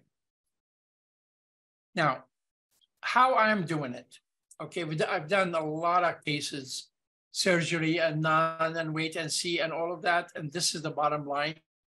I use basically laser surgery and DIAG. The best is at early staging. You could also do orthodontic extrusion. I don't. And you want to basically be sure that it is in one surface. Once it's advanced to other surfaces, mesial, proximals, you are talking about different. This is the case I want you to remember. And this reflects my philosophy. This is one of my cases. This patient had toothache, cold, and we saw the resorption. And my, okay, decided to do root canal. The minute we did the root canal, we connected between the outside, that's the oral environment is here, Basically, this is the mouth bacteria. This is the resorption, and it's all here. And then the minute you do enlargement of the canal orifice, you're basically connecting inside and outside. You're adding insult to injury. You're adding insult to injury. You either have to do a biologic root canal, try not to connect with the pathology outside, or just don't do it. And you're going to see some examples also. In my opinion, endodontic treatment exaggerate external resorption. Since we've done those cases, here's another case. This is a case of external resorption, cervical, okay, and the patient had some sensitivity. I made the mistake of doing a root canal. I lost the tooth in two, three weeks. Look at that. You're basically going in, making access, bacteria, you're putting the sodium hypochlorite coming out. If you use medication, I don't use, but any medication used here will be out here. You basically trauma on top of trauma. So you can see now access opening, and then you can see the invasiveness. We lost the canine. After these cases, four or five of them back in California, I stopped.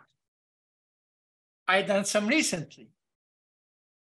Okay, so here more case. This is recent one I did. This is what I do now.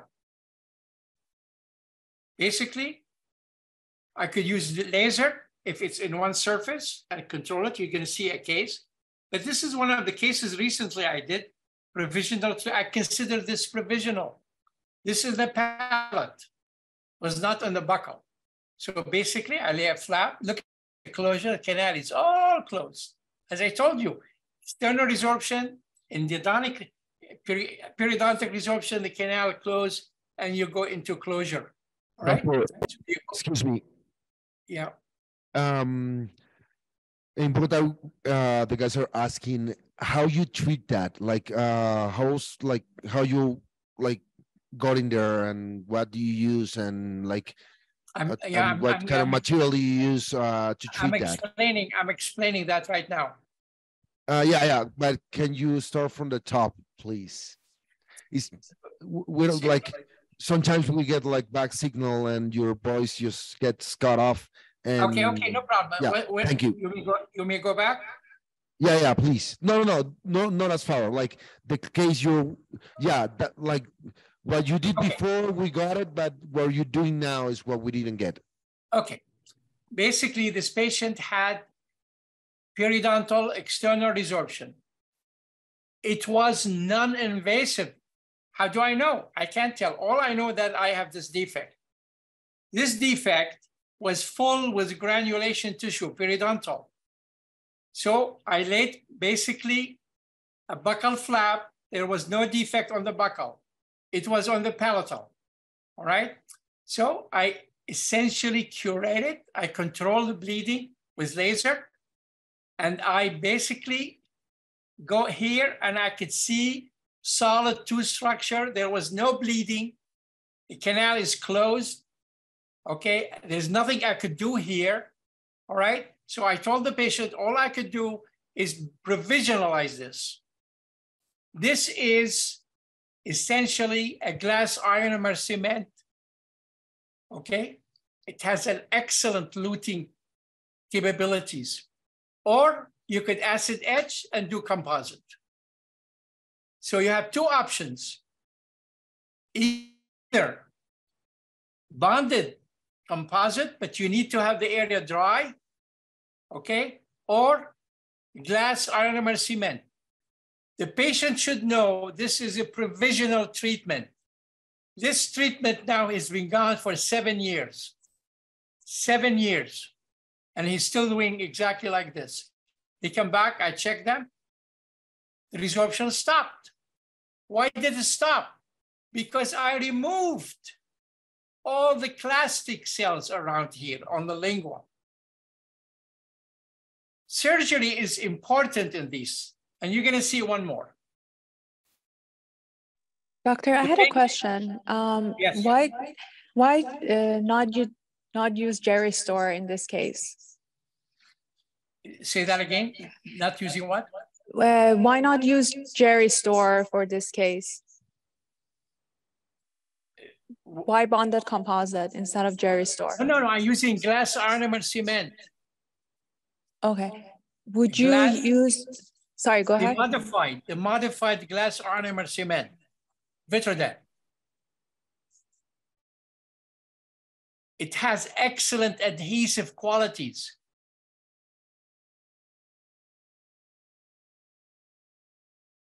And it doesn't dissolve. And the area has no pressure. The biggest problem with glass ionomer cements that you cannot put them under mastication, under forces or occlusal forces.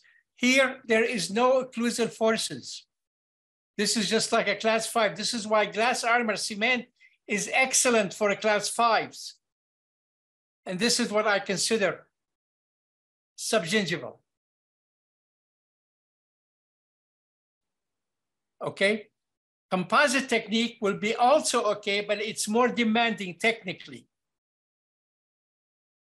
Okay, let me continue. I'm going to show you another case. This case, 75 years old.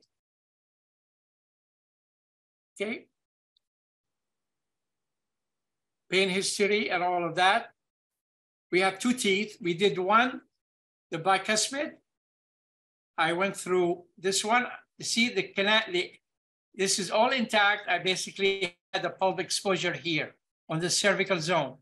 I basically just went in and I treated it in the buccal right from here. Okay. This is modification of access. You know, this is dentistry this is what I call biologic root canal. You, you never understand that term. Basically, I'm removing the tissue that cause pain or infection. And I'm giving the patient, okay, relief from symptoms, from pain. I am not going to do a post and a crown.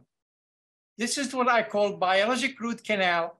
I do them for cracked teeth cases like this, just basically remove the, the problem. Okay? I do that for cracked teeth because I don't need to do a post. I don't need to have excessive flare. I don't do that, just basically remove the tissue. The, if you have bacteria, this patient had essentially pulpitis. We removed the pulp and we did the treatment.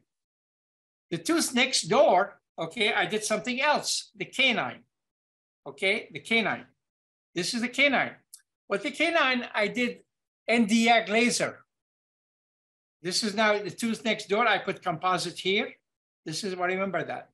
This is now laser. This is laser. Then here it is. Look at that. Okay, you can see now the, the lacunae from the resorption. All right? I did not get any bleeding. The patient had no pain. This is the tooth right there. No pulp exposure. Here it is my philosophy. So essentially, we should look at the pulp. It's perforative, non-perforative. Internal resorption, perforative, non-perforative. Periodontal resorption, perforative to non-perforative. Perforative to what? To the pulp. That's the key. That's the key. If it has not perforated to the pulp, you have a good prognosis. And the other cases, the pulp pulled back, it calcified. Okay? So I'm talking about this guy did not want to lose his central. This woman, this lady did not want to lose her canine and she's 75 years old. And here it is now, you can see it now, the post-surgery. This is the tooth next door. Okay, let me go back again so you understand this case. This tooth here, we did root canal, direct biologic right to the canal to the end. We left the, this intact. Okay, see here's the clinical crown, all right? And let me show it to you now. Here it is. This is after I did the root canal, I put composite. I closed it. She's happy. All right. And this is now the canine. And here is the composite. This is there, is finished. Then we come to oral pathology resorption. again, perforative or non-perforative. This is such an important area, neglected. Oral pathology resorption is huge problem. And uh, again, Dr. Uh, Tsesis, you remember they found about 9%, I mean 3% oral pathology in their finding. You basically have a dental impaction, sister tumors, or non-dental. This is what you see. Pathology, and you see the resorption. Pathology, pathology. This is from the literature from this guy here. It is from university in India. Okay, and you see the resorption. This is non-odontogenic nasopalatine cyst. 80 to 96% of impacted teeth showed resorption against the tooth they are leaning against. This canine, look what's doing to the central.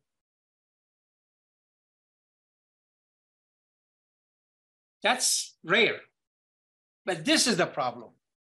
This is a huge problem, and we're not paying attention to it. It affects us. Why? Because this tooth may not be important, but this tooth is very important. So the impaction of the third molar, mesioangular, mesioangular, 90, 80% of all impaction is mesioangular.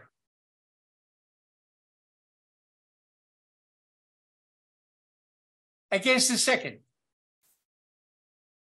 So you can see all of that, the mandible and the maxilla. Here are some of my cases. So the third molar impaction, global incidence of impaction, 24%.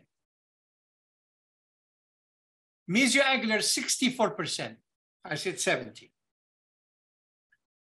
And you basically, look what's happened. Look at this data. Look at this information. And the second molar, 48% incidence of caries here because of this. And they don't want to pull the third molar. They don't want to remove the impacted tooth. But you can see now, this caries eventually is going to perforate into the pulp. This caries is going to make pulp stones here. I have a study now here in which we found pulp stones associated with this angulation issue. Bone loss, 11%. Pockets, 42%. You're going to have a permanent pocket here. Pericoronitis, 24%. And pericoronitis is one of 3%. Listen to this important information. 90% of people go to dentists because toothache. Toothache. 36% pulpitis. 50% AP. 3% perio. 3.9% pericoronitis from third molar impaction. Why? This is our this is in our specialty because it's going to affect us. They're going to come to us with what? They're going to pulp cap this. You imagine pulp capping the distal? Okay. And AP percentage is this. All right. So then you're going to get all this information, which I just going to repeat. And as I said, you have pockets, pathologies, and exposure, and caries. Here's the pericoronitis. Okay? So every time the patient eat, the prevalence, look at the prevalence. Prevalence of pericoronitis, 29.36%, but it's responsible for 3% of the toothache. 3% of toothache caused by pericoronitis. All right. Areas of the second and third molars are difficult to keep clean, subject to caries or periodontal disease, all right? Now, we go up. Let's go to the maxilla. The maxilla is worse. Why?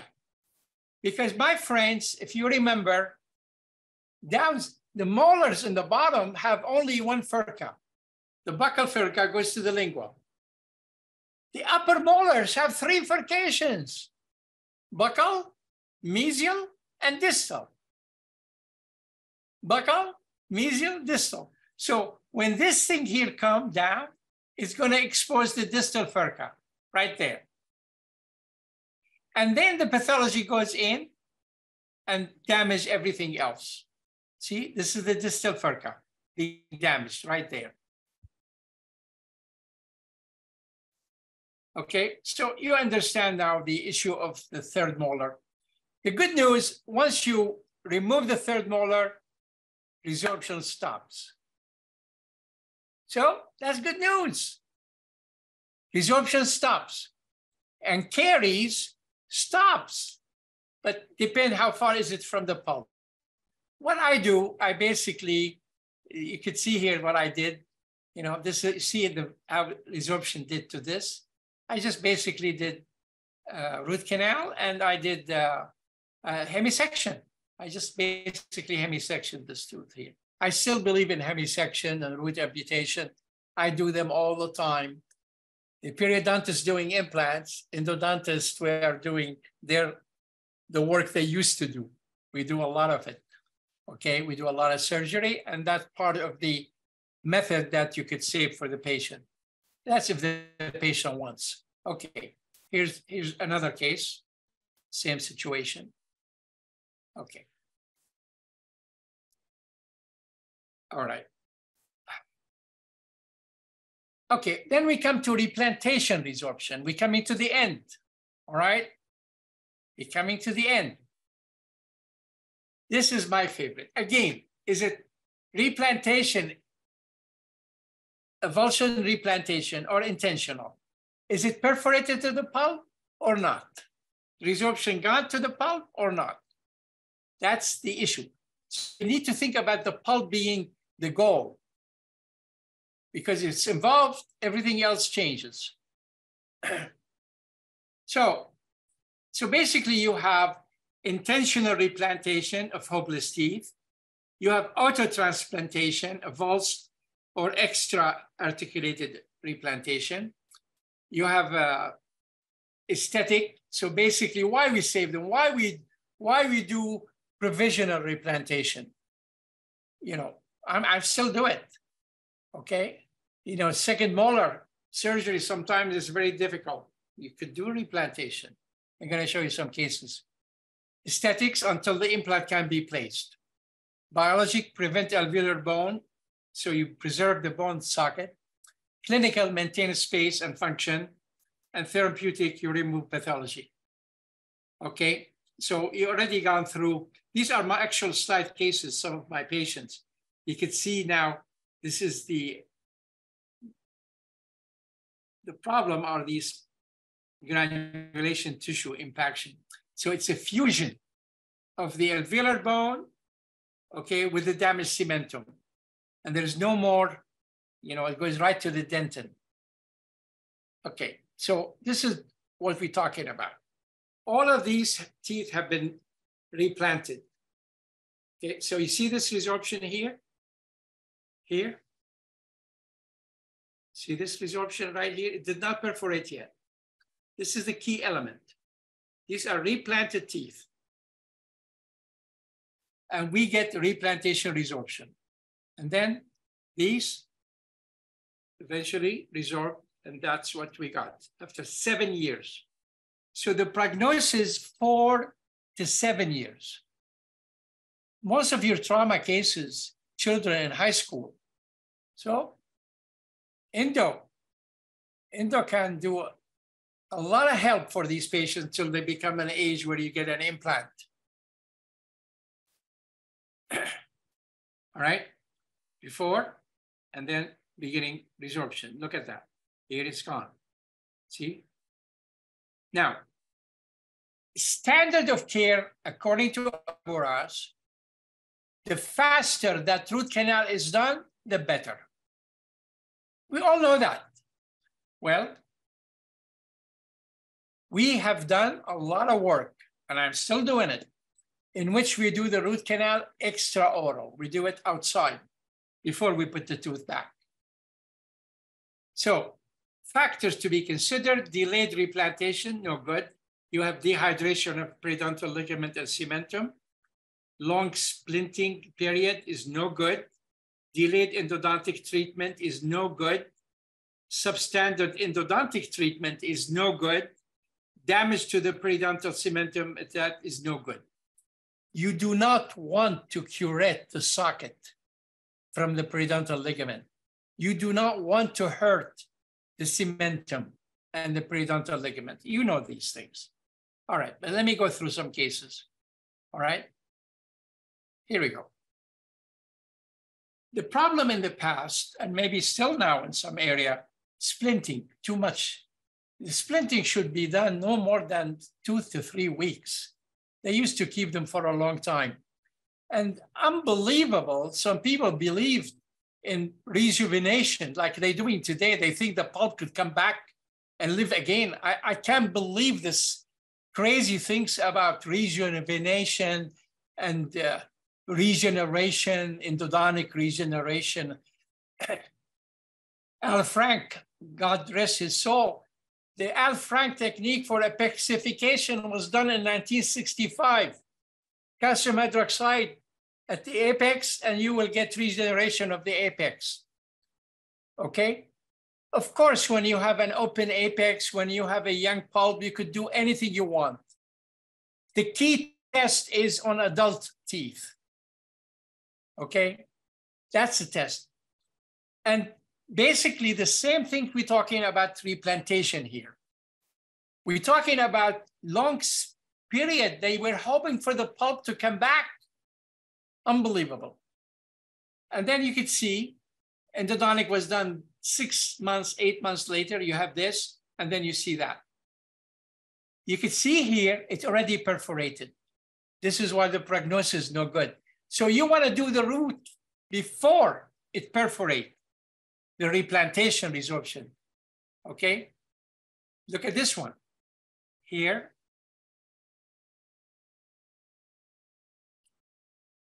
And then you can see now how the lesion healed.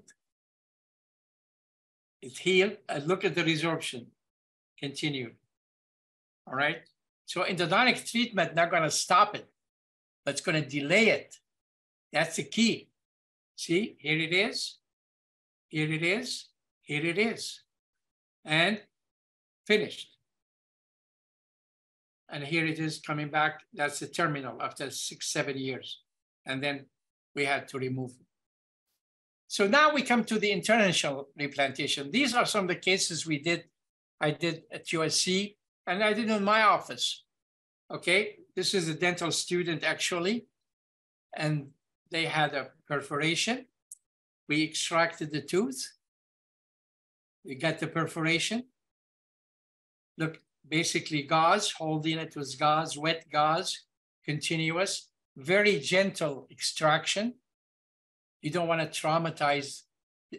And then we, we did apicoectomy, placed some retrofill. I put some retrofill here where the perforation was and the furcation by hand. Took eight minutes, eight minutes, seven minutes, finished. And here it is done. This is before and this is after. It lasted about four or five years. I don't know what happened to it later but we followed this patient, this, this student for four years. Then we talk about oh, ultrasound. This is one of my cases, my favorite case, which I did it just about before I leave the country. This is a patient came to me, said, please, I do not want to lose this tooth. Please see, you could, I don't want implant. This is the time implant was beginning. I don't want to implant. I want to save my tooth. So I said, it's hopeless. It's gone. So I removed the crown, I removed the post, I removed this silver here, and I basically took a burr right up there and I drained this. This is a hopeless tooth. It's gone. Okay, nothing. And when I was looking at her, I saw this bicuspid down below, this bicuspid sitting right there. Okay. So I said to her, okay, I could take that bicuspid and put it up there for you. She said, anything you want to do, Dr. Abou-Rass. So we extracted the bicuspid from the bottom, okay? And we put it up. And basically what we did, we did root canal on it in hand. You can see now I went from the apex. You can see my canal enlargement here. This is the cervical zone. And this is all the way up to the pulp chamber by hand, AH26 and gutta percha and close it and did apico and we put it back. Remove this, all this pathology now got better. And here it is back, insert it back and look at it. I followed it about six, eight months. Okay, then I, almost a year actually. And she kept it, I don't know exactly where we are on it because I left the city on that. So this is now intentional replantation. Excellent modality. Grossman talked about it many years ago. Excellent modality if you, and now with the technology we have, with the rotary instruments, you know, with the sealers you have, you could do this in five minutes. And our time, basically, you have to be absolutely prepared and you go, go, go, go. And that. The only thing I want you to do before you put the tooth back, take your high volume suction and remove the blood clot. Okay, don't remove the tissue. If you have granulation tissue, you could remove, but don't scrape the walls of the socket, essentially. And then basically the last one, and then I'm finished, is the systemic root resorption. This is basically you have no dental problem. These are strictly case reports. I have not much seen them. I have not treated any of these patients. My students brought me cases, but they were hospital cases. Basically, case reports, okay? And they look into multiple teeth, usually bilateral, okay? So they're not dental. The key element is this. There is no history of any problem in dental. There's no history of endo or perio or resto, and they have resorption. Okay, so the literature says basically systemic diseases and basically hormonal diseases, and you have them available in the literature. This is what you see there, okay?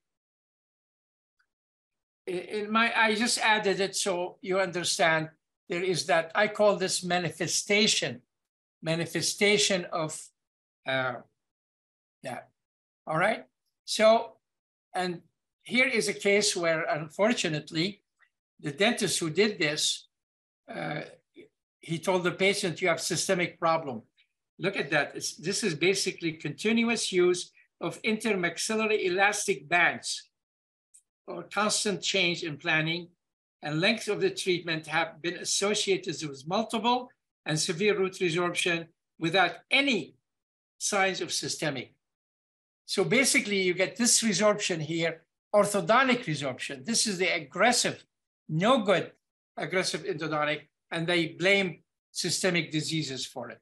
Okay, so let me thank you and summarize very quickly. You have six types of endodontic resorption.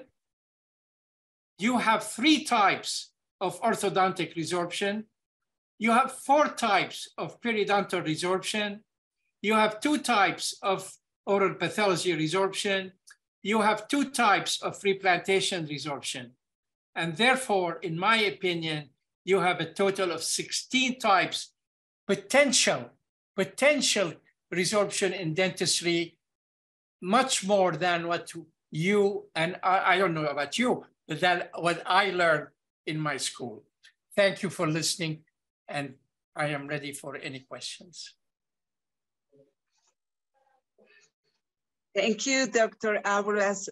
Thank you very much. I congratulate uh, you for this great classification of this great clinical case. Uh, people uh, like you make life easier for us with these guides and protocols to be able to classify root reabsorption, more easily.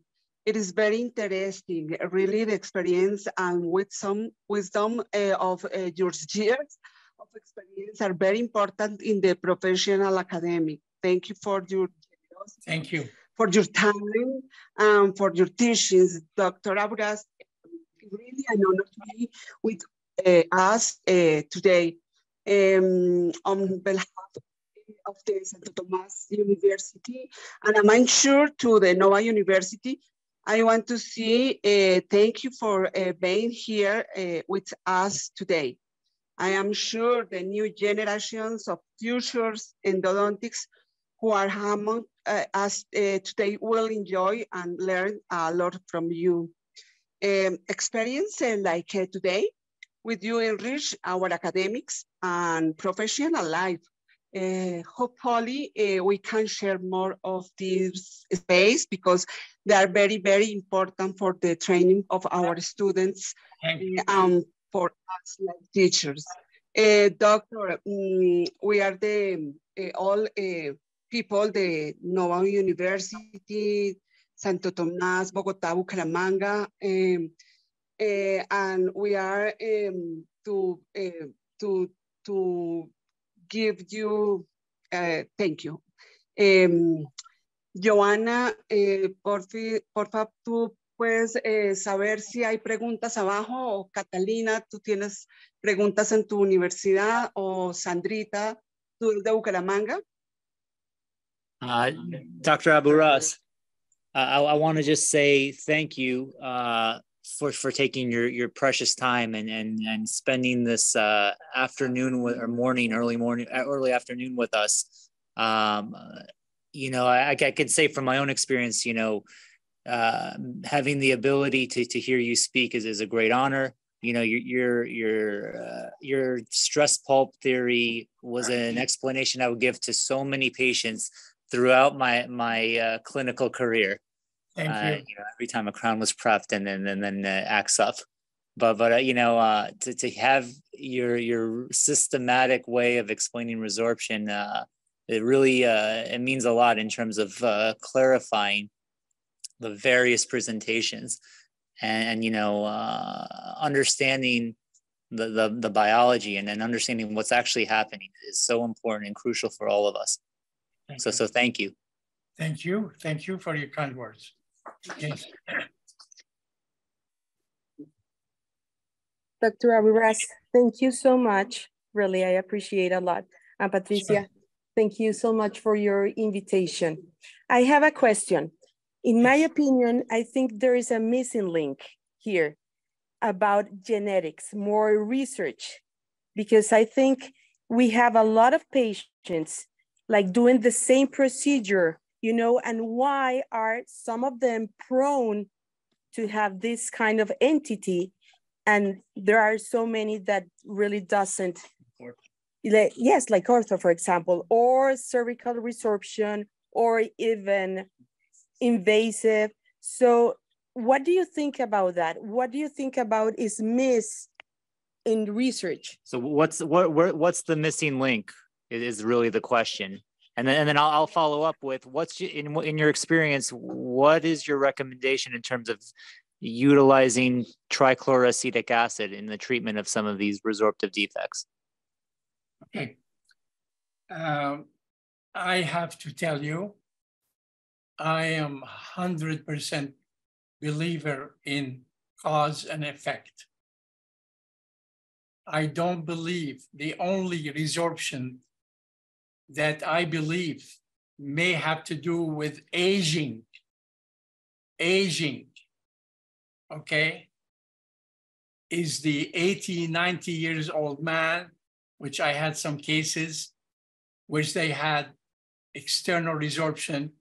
And this research, which I mentioned to you at the UCLA, they found that they called it the accidental resorption they found it mostly in older people. All right. So aging, okay, function, usage of teeth. Now we're keeping teeth longer than ever before. Maybe that's a factor in addition to the issue of genetic. But the resorption that we see in your clinic every day, the patient see in our business today, they all caused by substandard care, iatrogenic care, inferior care, could be bad endo, bad perio, bad ortho, bad resto. That's in my, my opinion. I found there is, it's not associated relationship, it's causal. When you do this, you do that. When you do this, you get that. Now, let me get back to the issue of, you know, uh, Dr. Uh, Patricia had a presentation on the issue and throughout history, okay, they use calcium hydroxide in the treatment of external root resorption, okay? These, I mean, this is great. Everything has been tried, all right? Calcium hydroxide been used for everything, including whatever. But essentially, essentially, these therapeutic, after you leave them on site in 10, 15 minutes, they've been neutralized and they become useless, whether they are inside or outside in two days, three days, four days.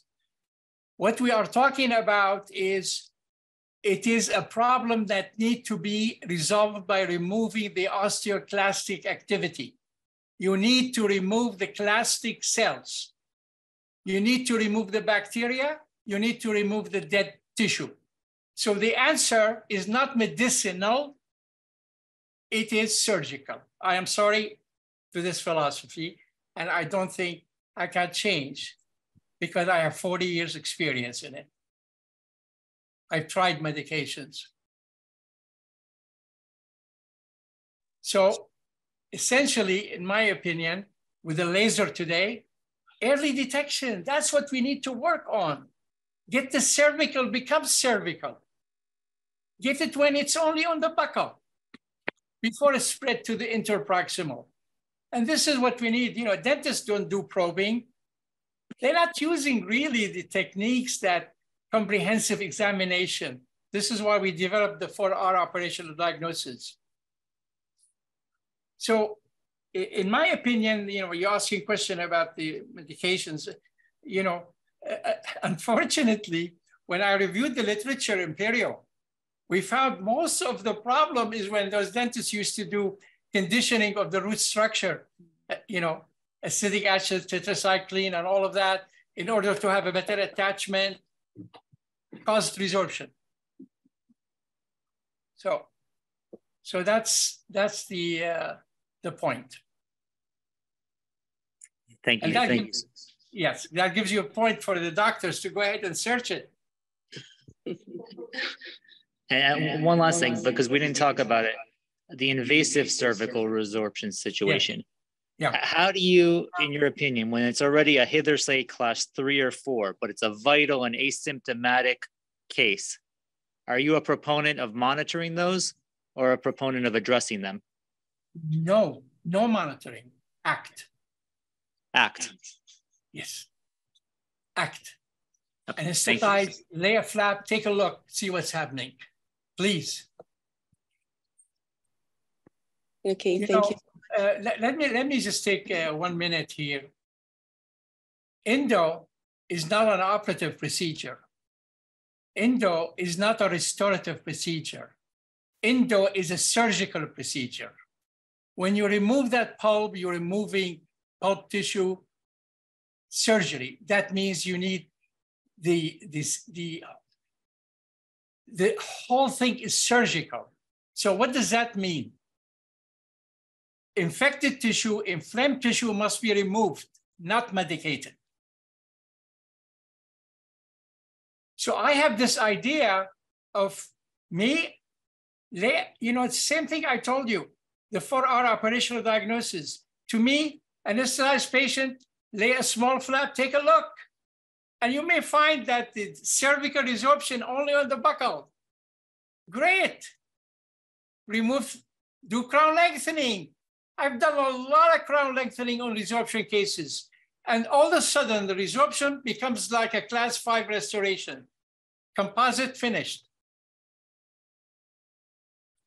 the wait and see, the watch, watching is not a good game. Okay? Many times uh, the, the knife is faster than the bottle of medication. I'm sorry, it's a philosophy. uh, doctor, um, what do you think about after you remove this, this uh, tissue, you have you feeling uh, this uh, reabsorption, reabsorption with the Biodentine? I'm sorry, what's the last thing? Do biopsy? Tissue? Do, yes. do biopsy? Uh, yeah, you, yeah, yeah. There's a space with the Biodentine. Oh, yes, yes, yes. Uh, yes, yes. Fine. Fine. If you're going to use it uh, as a filling material, uh, no problem. They've been tried. They've been tried. But again, you know, I read all of this literature, then it says no significant difference between this and that. Then I go back to my technique. That's, that's basically what it is. And this is why I'm sorry, but uh, I mean, this is a, Patricia wants you to hear me. You're going to hear a bias. You're not going to hear somebody, uh, your philosophy 100%. I developed my own view, my own vision for things. I tried. You know, remember, I'm a student of traditional endo. And then 20, 30 years at USC with my graduate students, Sergio, one of them, we changed. We changed the face of endodontics in California. Okay. And right now, I don't know what it is, but basically, we are more straightforward, more direct. We want it done. We want action. We want a result. Uh, you know, that's that's just just a philosophy. Okay. Okay.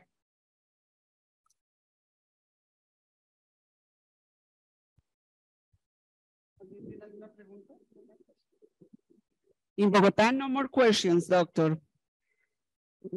I don't know. Nosotros también estamos bien acá. Gracias. Okay. okay, so basically I have, uh, you know, I'm, uh, a lot of, I get a lot of questions online and different people, Twitter and, and you know, ask me questions. So sometimes I do videos answering questions.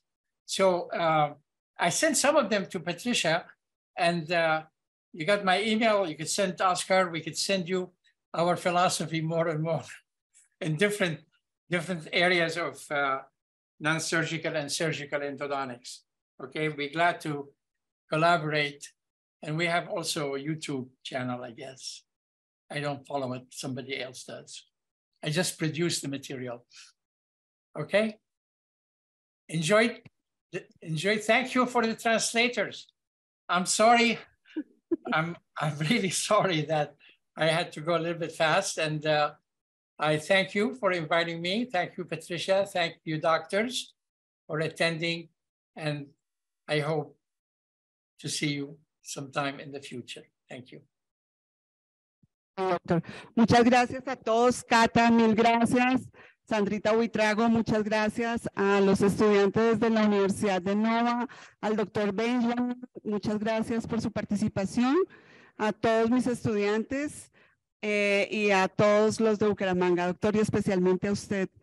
Eh, muchísimas gracias. Thank you very much. Eh, love you. Thank you. Okay.